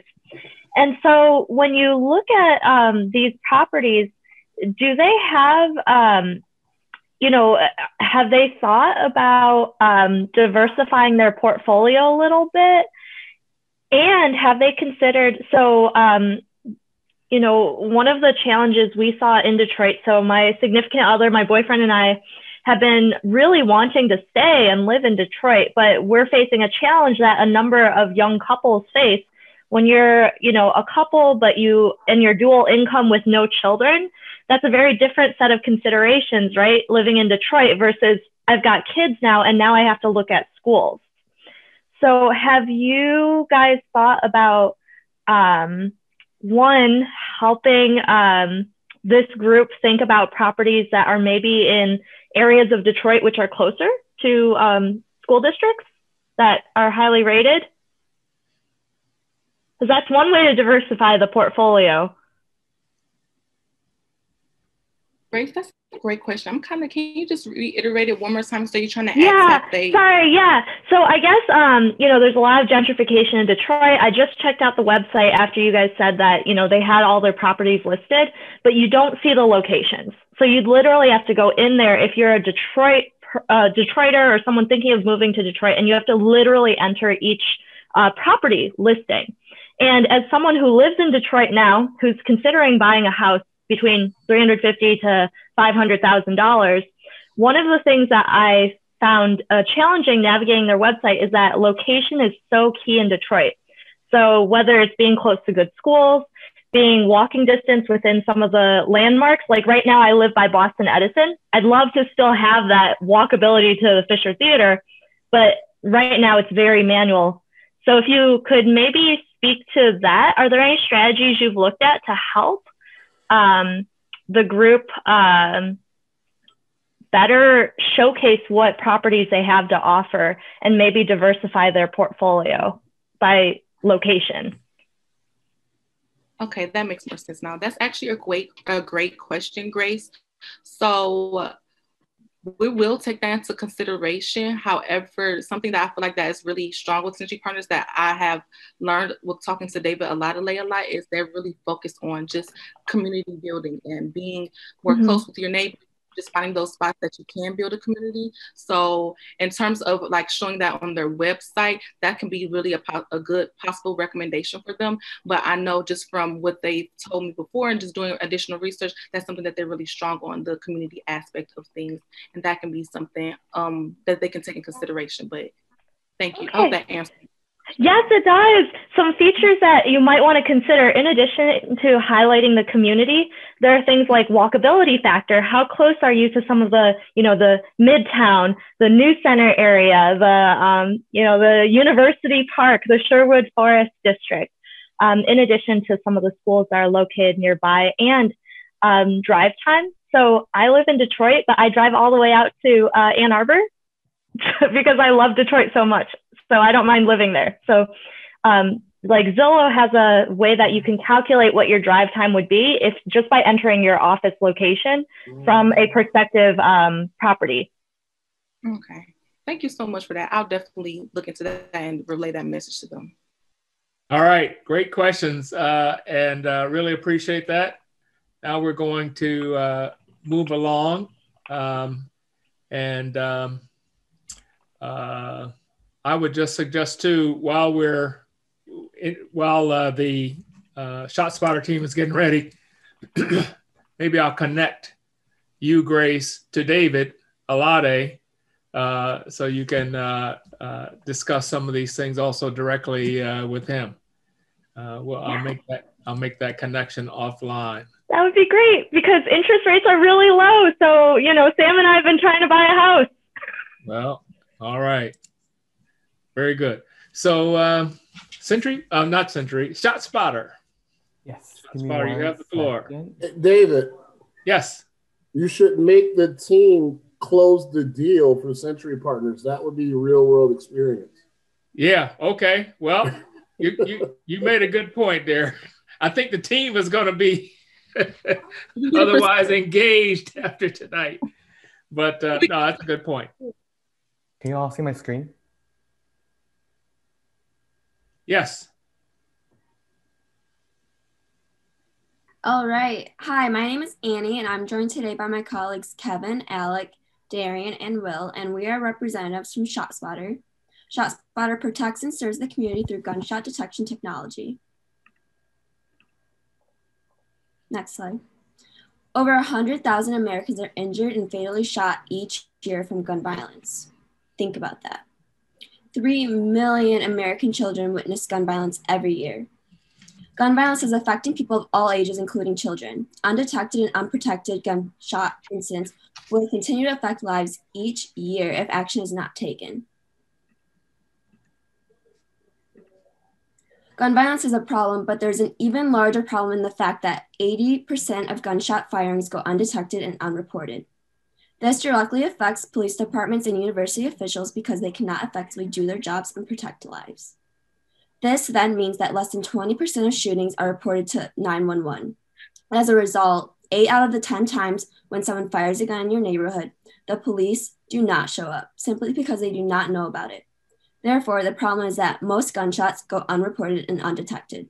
Now I'll pass it over to Alec. Thanks, Annie. So, um, speaking more on that, we at ShotSpotter believe that we are the solution to this problem of unreported and undetected gun violence. Um, we provide both police and university security alike with the ability to get real time alerts within 60 seconds of an active gunshot firing to the exact location. Uh, we're able to do this actually with our unbelievable proprietary technologies, um, basically focused around our patented uh, sensors, our artificial intelligence, as well as our extremely high tech algorithms. And our overall goal here is to deter future gunshot incidents and disrupt these crime cycles. So moving forward, depicted here on the screen are the five key resources that we believe help us the most in dealing with undetected gun violence. Um, we at ShotSpotter have worked with over 20 different integration partners in 50 cities across the United States to integrate our gunshot alert data uh, in city systems, more specifically focusing with like license plate readers, CAD, geospatial software, and drones. Uh, just to give everyone an example, our point and zoom cameras actually shift and zoom into the specific location as a gunshot occurs in real time, which obviously further helps the police get in an accurate location in a timely manner to help save lives. Yeah. So, um, how does all this work uh, in terms of being a business? Well, first, um, through market research, um, we recognize or identify um, viable cities and/or uh, campuses that uh, where where gun violence is a prominent problem, and we recognize that they need a solution. Um, for example, through talking to Ann Arbor Police, we discovered that ShotSpotter solutions aren't a necessity in all cities, especially ones with low to none gun violence crimes. However, once a viable potential c- customer is identified, um, we reach out to them, their city officials and campus reps, and uh, set up demos and begin that uh, customer acquisition acquisition process. Um, once adopted, um, the physical gunshot detection sensors are then installed in their respective locations, as well as the integration of the shot of the software that ShotSpotter provides. Um, after implementation, it's usually within the first two years, if not the first, that we're able to turn a profit. Um, but the results in the communal and the communal communal benefits start almost immediately. Next slide. Um, these results include, but are definitely not limited to, um, significant decreases in shootings and homicides, more arrests made and cases solved, and most importantly, more lives saved. Um, essentially, ShotSpotter effectiveness has been proven to decrease gun-related incidences and help police officers do their job. Moving forward, um, as a company, ShotSpotter holds a very strong market position uh, as their technology and services are protected by 33 patents currently. Um, and as ShotSpotter evolves and creates or adopts new policing technologies, um, the room for new competition will only shrink. Um, overall, ShotSpotter faces no major competition, and uh, this will allow them to just focus on. ShotSpotter is currently in 103 United States cities, and we're continuing to expand. So the industry is opportunistic growth with uh, $11 billion. Within the gunshot detection portion, that's 104 billion. So our current business opportunity lies around $500 million, and that should continue to expand as we grow. So as well noted before, our technology is heavily patented and coveted, but major cities like Detroit, Los Angeles, and quite a few others uh, don't actually use ShotSpotter, and that's why we project growth in the future. Because there are no competitors out there, ShotSpotter is not necessarily just a want, it's a major need in order to keep the citizens of the US safe. So, initially, when a city becomes a customer of ours, there's a $10,000 upfront starting fee for the development and installation of the technology that's actually needed for that city. And then following installation, the cost for customers can range anywhere from 65 to 95,000 per year per square mile. The key figures that drive the revenue for us are our number of customers, or rather the cities that use ShotSpotter, the square mileage that we cover, and then the purchase price for our services. So in terms of revenue, over the last year, we've grown just under 5 million and maintain an operating profit of approximately 4%.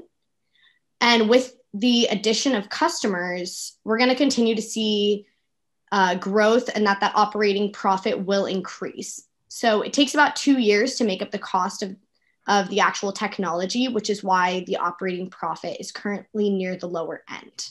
So uh, we take purchase price out of the equation there because we find it to be less of what we want to focus on. Through conducting customer discovery um, over the last couple weeks, we were able to learn that everyday people would love to have the ability to be extra protected when it comes to gun violence. I know most of us on the call here would love that to not fear going outside and, and having that potential threat would be an absolute dream for everyone. Um, as one person said, a gun being fired at someone once is one time too many. So we're very lucky to provide a product and a service that is highly desired by individuals. And in order to work conjunctly between law enforcement and communities, we think it would be really wise to create an app, which Kevin will discuss more about. Yeah, so from our customer discovery Darian had uh, touched upon, we also see this generating value of safety and security directly to the average citizen. Um, and we believe that ShotSpotter can do this by creating a simple mobile app that will provide real-time localized alerts and an easy uh, to use interface. Uh, so how this will work is that you would download the app and then pick the radius selection for the gunshot monitoring. You can then just forget about the app. Uh, if there is a potential gunshot, however, that is identified within your radius selection, you'll be pushed a notification uh, for the identification of the gunshot and urging you to reach a safe location, especially if you're currently outside. um, ShotSpotter can then expand upon its value to the average citizen. So, because gunshots will then be detected and people feel protected and connected about what's happening in their environments. On the bottom right, there are two applications the Neighborhood uh, Crime Watch and Citizen. Uh, both of them aggregate uh, witness reporting from the mass population. Uh, and there are both pros and cons in partnering with other applications or ShotSpotter simply developing their own application Uh, but one of the biggest benefits for ShotSpotter is that they would easily reach a mass market of individuals while cutting significantly on app development costs and maintenance costs. And from that, we envision ShotSpotter to be in every city so police uh, and campus securities can do a better uh, job in protecting the communities from gun violence. Um, ShotSpotter has continuously invested in AI and machine learning integration, which will help maintain uh, its position as the market leader uh, with, as um, Will have mentioned, ma no major incumbents that can rival ShotSpotter's technology. Um, but as ShotSpotter grows its customer base and operations, we believe that automation of their tier one support um, will not only reduce their personnel costs, which is a huge portion of um, their costs, um, but provide consistent and standardized customer service um, for their customers, police departments, and campus security. Um, and then we believe that a six month phase out plan would be the most effective in validating and adjusting uh, for any potential deficits that may occur. And then finally, um, ShotSpotter, uh, whether ShotSpotter develops their own app or partner with another app uh, to deliver their service, we are looking at like a three to nine month timeline um, and ultimately, we believe that ShotSpotter is providing the best gun detection technology that's out there um, so that you and, and, everyone in the community is protected uh, because of law enforcement teams that can do a better job in what they do. And with that, we want to thank Professor Par uh, Carver, uh, Sonia, and Reggie for all their hard work uh, for this course. And we would like to extend um, a special thanks uh, to Ralph and Nassim, our uh, urban entrepreneur um, partner, who have supported us in our journey. Uh, we work so well as a team and learned so much about ShotSpotter in the process. And we're extremely grateful to Nassim, who have taken time out of a busy schedule every week to work with us. So it was a real pleasure and thank you. And I'll open the floor to questions. Hey, I have one. So um, are the, I saw on your uh, third to last slide, the ShotSpotter, yes, this one. So you mentioned campuses. So, who is their target customer? Is it um, universities, K through 12 school districts, um, police departments?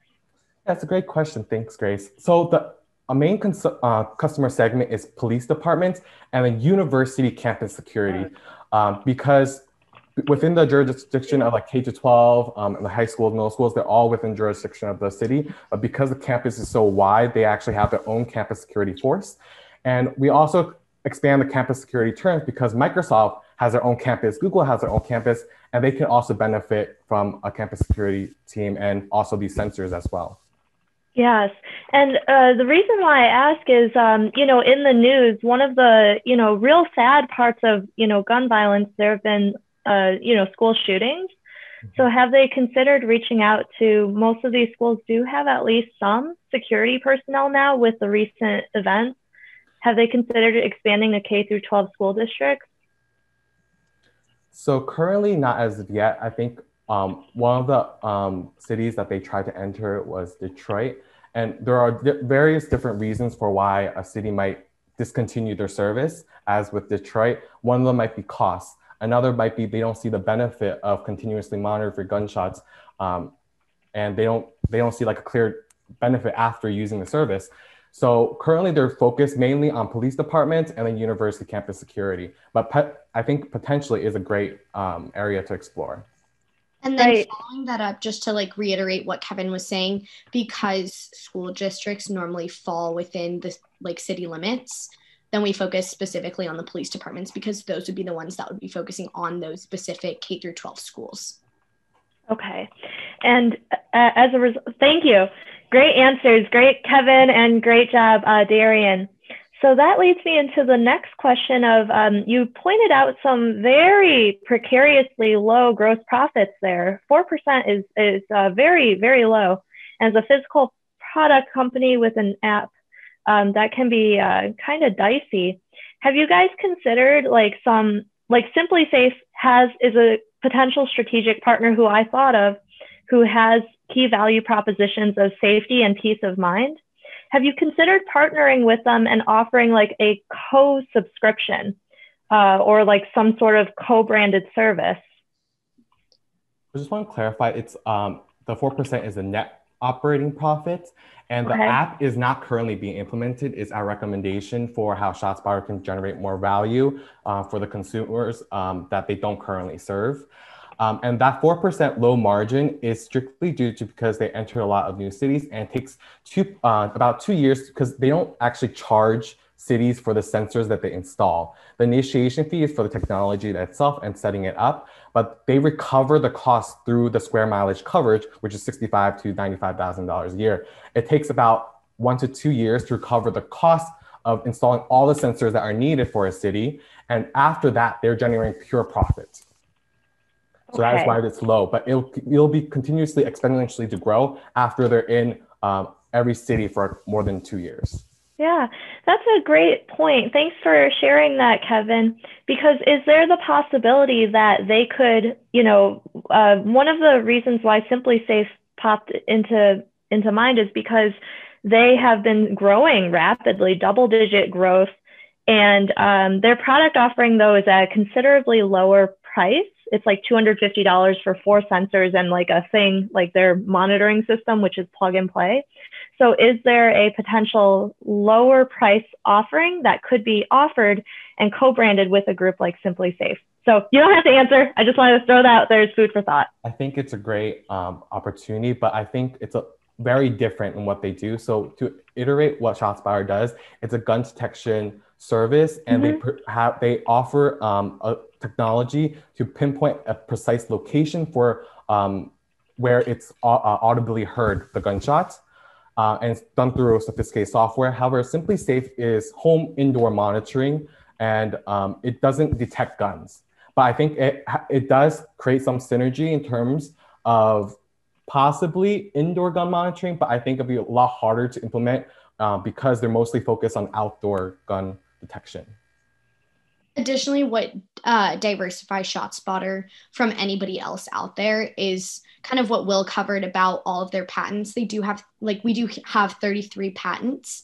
Um, and I know a design patent lasts about 14 years and a utility patent lasts around 20 years. So the actual technology, the hardware and the software are what's covered and why the actual pricing might be a bit higher than a couple other indirect competitors that don't necessarily do the same thing. All right, guys, we got to keep moving. I appreciate those questions um, and uh, uh, great discussion. All right. Good evening, everybody. My name is Trey Wilbur, and speaking with me tonight will be Brad Robbins, Howie Chang, Bryn Jackson, and Lindsay Goldman.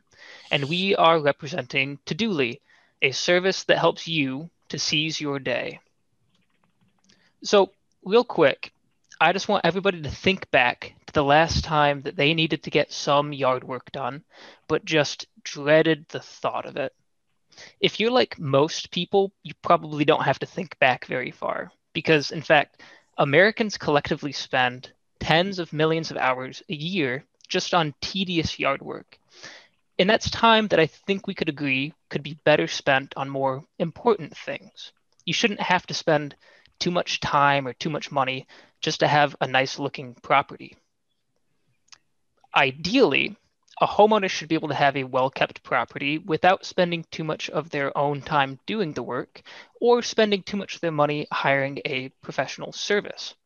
One way to do this is to provide the opportunity for young students to do your yard work for you. Enter Todoly. Todoly is, a, is an online platform that connects homeowners with college aged students who are willing to do their yard work for them at a fraction of the price of what a professional service might cost. And this has two purposes. Of course, the obvious one is that it provides the homeowner or it saves the homeowner uh, money and time, but it also helps to minimize the opportunity gap that is prevalent in so many of our cities by giving the, the young students an opportunity to make good money and expand on their work experience and expand their uh, professional network. And at that, I would like to pass it off to Howie. But what actually makes Todoly capable of providing that solution? Well, there are several things that makes us stand out. First, it is the to-do list connection to our helpers. Uh, our funders were coming from similar backgrounds as in Chilean immigrants.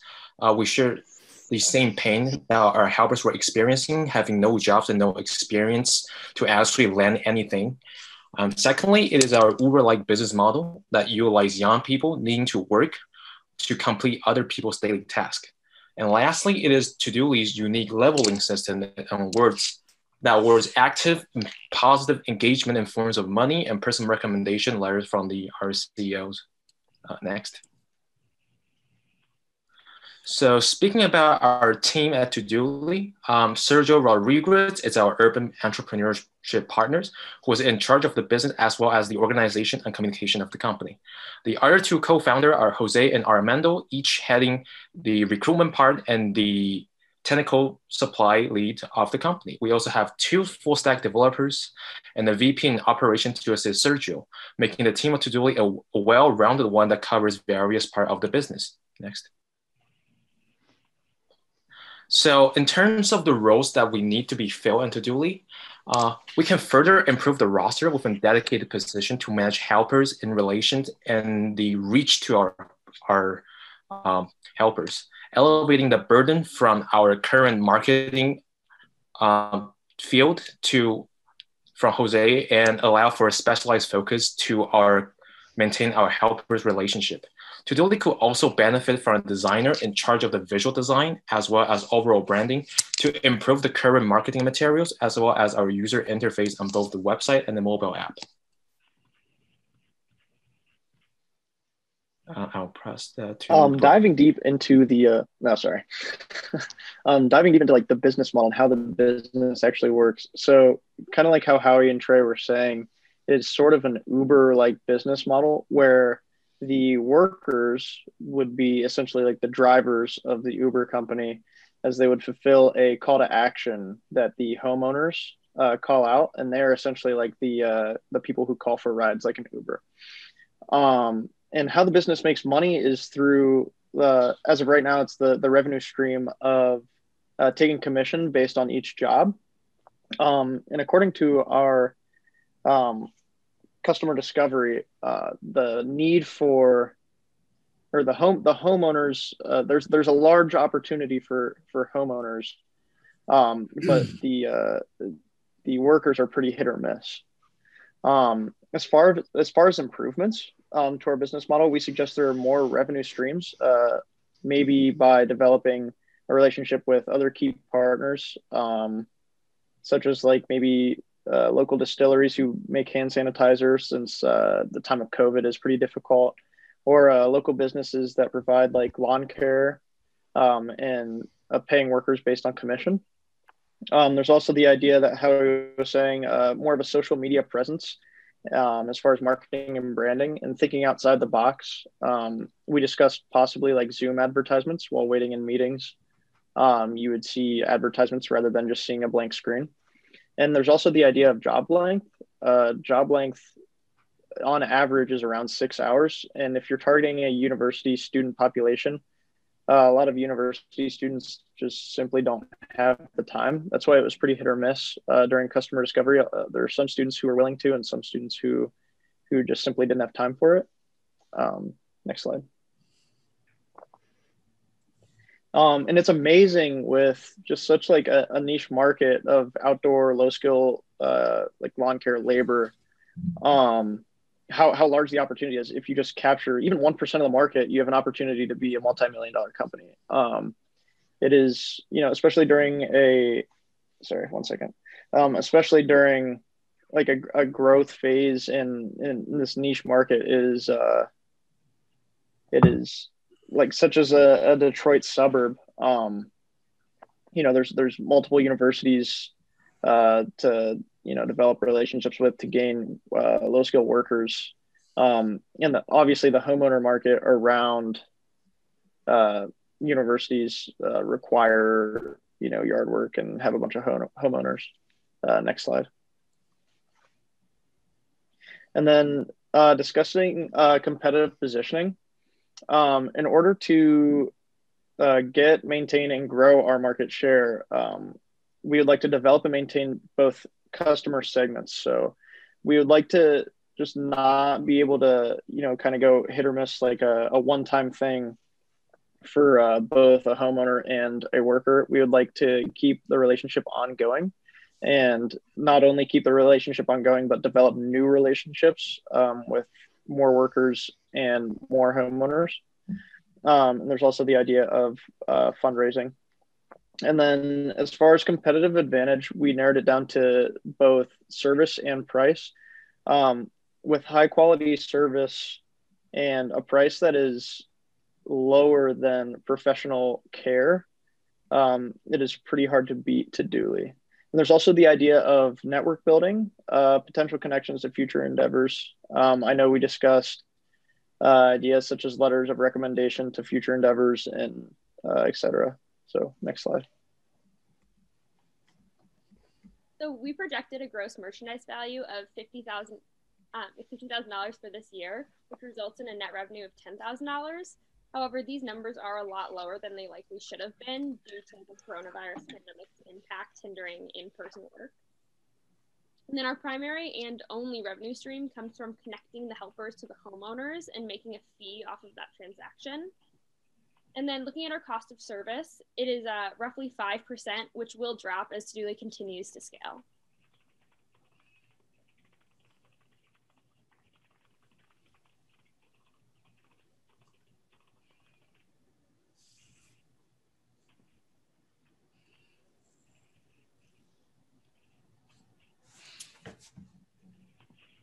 Okay, guys, is that it? No. Sorry, I was muted. I totally did not realize I was muted. Sorry. Um, the customer discovery findings led to a change in the business model canvas by we changed the employees who we originally saw as a dual customer segment uh, to a key partner instead. And our interviews provided further evidence that homeowners are in need of affordable and easily accessible housework assistance, and college students struggle to find part time employment. Next slide. So then looking at next steps for Todoly, we plan to first focus on implementing a reward program for the helpers, which will help them with professional development, as Brad mentioned earlier. So with this program, when they reach a certain amount of hours worked through the app, they would receive a letter of recommendation from Sergio that they could use to help them find employment. And then we also believe that revising and expanding our marketing efforts will increase awareness and user acquisition. And we think this should be done by advertising on meeting platforms like Zoom and connecting with school authority figures to replace current um, in school recruiting events. And then in the coming years, we also think it's important that Todoly expand its contractor channels. So, in summation, Todoly is a great service that helps homeowners who need work done to students willing to find jobs. And as we've expressed, Todoly is already flourishing. And even still, we have found even more ways for Todoly to continue its growth. We expect that this will not be the last time you hear the name Todoly, Todoly as their young and experienced team puts them at in a is in a in a unique position. Sorry, stumbling over my words, uh, to capture a sizable share of the market. We'd also like to thank Sergio for really going above and beyond with his help and mentorship throughout this project. We learned far more than just Todoly's business model, and we're very grateful for all of his advice and insight. Okay, thank you, Todoly team. Questions? I'll dive in. Um, so, I, I know I'm old, and so I'm in a space where the whole the gig economy is just different from what I grew up with. Um, but I do know that now there's kind of a um, there's been a bit of a reckoning on some of the ethics of it, um, and and and then also from a quality control perspective of how you manage your community of contractors uh, both the quality of the work and then also like folks who may depend on you. Like if you're pegging your ideal labor force as college students looking for extra work, there's other folks that fall outside of that that may very well gravitate toward this. So, A, how do you see yourself learning from some of the past, you know, either mistakes or lessons of different companies who have kind of built their labor force and business model and gig economies? And and how do you see your ability to have a healthier relationship uh, with your contractor base in a way that makes customers feel comfortable with it? Yeah, so I think um, Sergio and us, we talked a lot about how um, he learned a lot from looking at how TaskRabbit, another popular, you know, odds and ends uh, gig economy type of uh, platform, he he learned a lot from that app and how that was going along, um, and wanted to specialize just in one area um, to provide a more quality service. And again, going back to like uh, the very intimate relation that relationship that uh, Sergio and the founders have with the contractors uh, in providing them kind of like you know a, prof- a, professional network you know working if they you know keep working um, or the longer they work rather. And that can kind of ensure that the customers will get quality work. I think there's also talk of implementing a kind of uh, worker review kind of functionality so that uh, the customers can be sure that when uh, their contractor shows up, even though they're a college student, that they will provide them with quality work.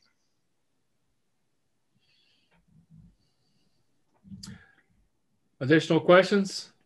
Yeah, just as real quick. Um, I find it kind of strange in, in terms of college students sort of displacing probably low educated, um, undereducated individuals and people who uh, may rely on sort of manual labor for a living. Um, when I looked at the video on the website, again, it's these two white boys, college students, show up at the door to help out at a home. I'm just wondering if the company's thought or you thought of the unintended consequences of sort of displacing sort of people who rely on these jobs for their income and giving it to college students who have higher opportunity in the future. Any thoughts there? Yeah, I'll bite on that one. Um, so there's one very stark distinction between, you know, the the typically more undereducated, um, maybe landscape worker or lawn care worker who works for the job professionally and a to-do worker and that is the complexity of the job. So typically you'll have the to-do worker doing stuff like mowing the lawn weeding maybe planting something mulching you know tasks that are just annoying enough to want to hire somebody but might be too expensive to have a professional uh, lawn care service come in and do. Uh, the workers the, the to-do workers won't be doing stuff like i don't know uh, full on landscaping or paving uh, paving pads or whatever you know what, whatever you have you. Um, so yeah it really comes down to the complexity of the job and the cost of uh, hiring a professional service to mow your lawn. And to add on to that uh, one of sergio's biggest visions with creating this business was actually to provide um, underprivileged kids an opportunity for professional development and to grow their network uh, because it was he thought of this whole business from when he was a kid and he did a bunch of odd jobs to make money. And compared to other more privileged kids he didn't have the same opportunities. And so this was sort of a way of um, I, I guess the video might not do it justice but sort of the way for kids to be able to expand their network. And that's the idea with the letter, the recommendation letters too, is to help give kids a just a step up almost. Um, and we also they also don't just work with college students.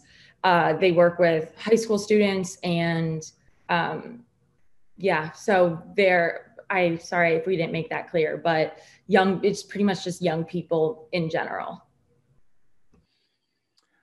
Okay, so uh, we have e- exhausted our time and uh, we're actually right on schedule.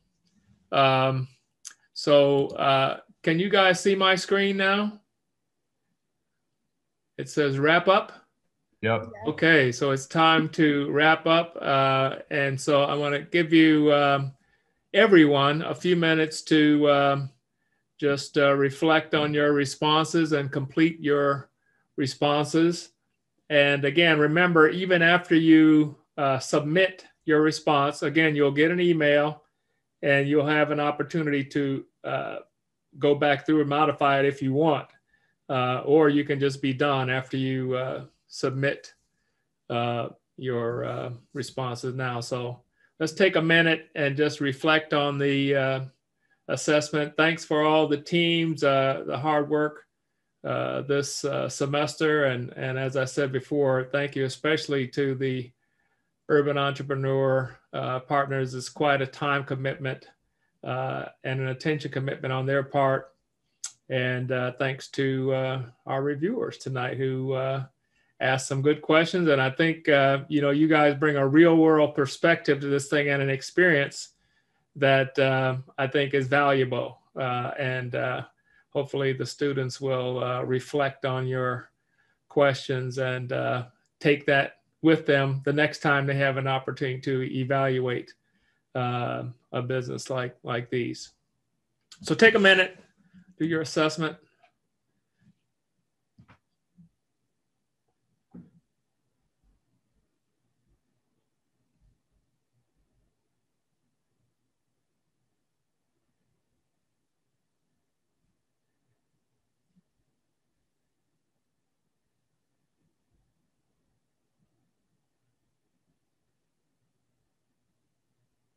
This has been quite a quite a semester. Very different.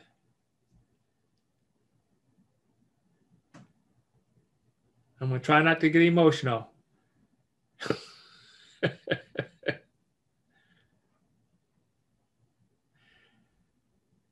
okay, so uh, you can still be wrapping up your assessments. I just want to uh, reiterate with the students, uh, we just have a few uh, odds and ends left this week. Uh, the uh, uh, final business model report, you know, the backup for your presentation, um, the uh, final reflection essay, your CATME peer review, that's an extra credit item, and the uh, final teaching evaluation. All of that stuff uh, is due uh, by the end of the day on Friday. So uh, hope you all can get all of that in. Uh, we definitely need to get all of that in. Uh, and I just want to say it's been a pleasure having all of you this semester, this very unusual time. As I said, I wish that we could have been together, uh, you know, in the classroom, but we made the best of it. And uh, you guys really hung in there and uh, and uh, did a good job this semester. So happy holidays and good luck with uh, where you go from now. And you know, I have to close out uh, with the CFE slide and just say risk, fail, try, do. And don't forget to say, Go blue. okay, so you guys can take a few minutes and finish up and uh, just uh, submit everything. And uh, as you finish up, feel free to sign off and, and take off. Thank take you. care. All right. Happy New Year. Thank you. Thank, Thank you. Happy holidays. Happy New Year. Yeah. Thanks, Thank you, David. Take care. you. Bye, everyone. Thanks, Grace. All right. Thank you. Happy holidays, everybody. Great work. Everyone have a Oh, night. thank you. Have a good one. All righty.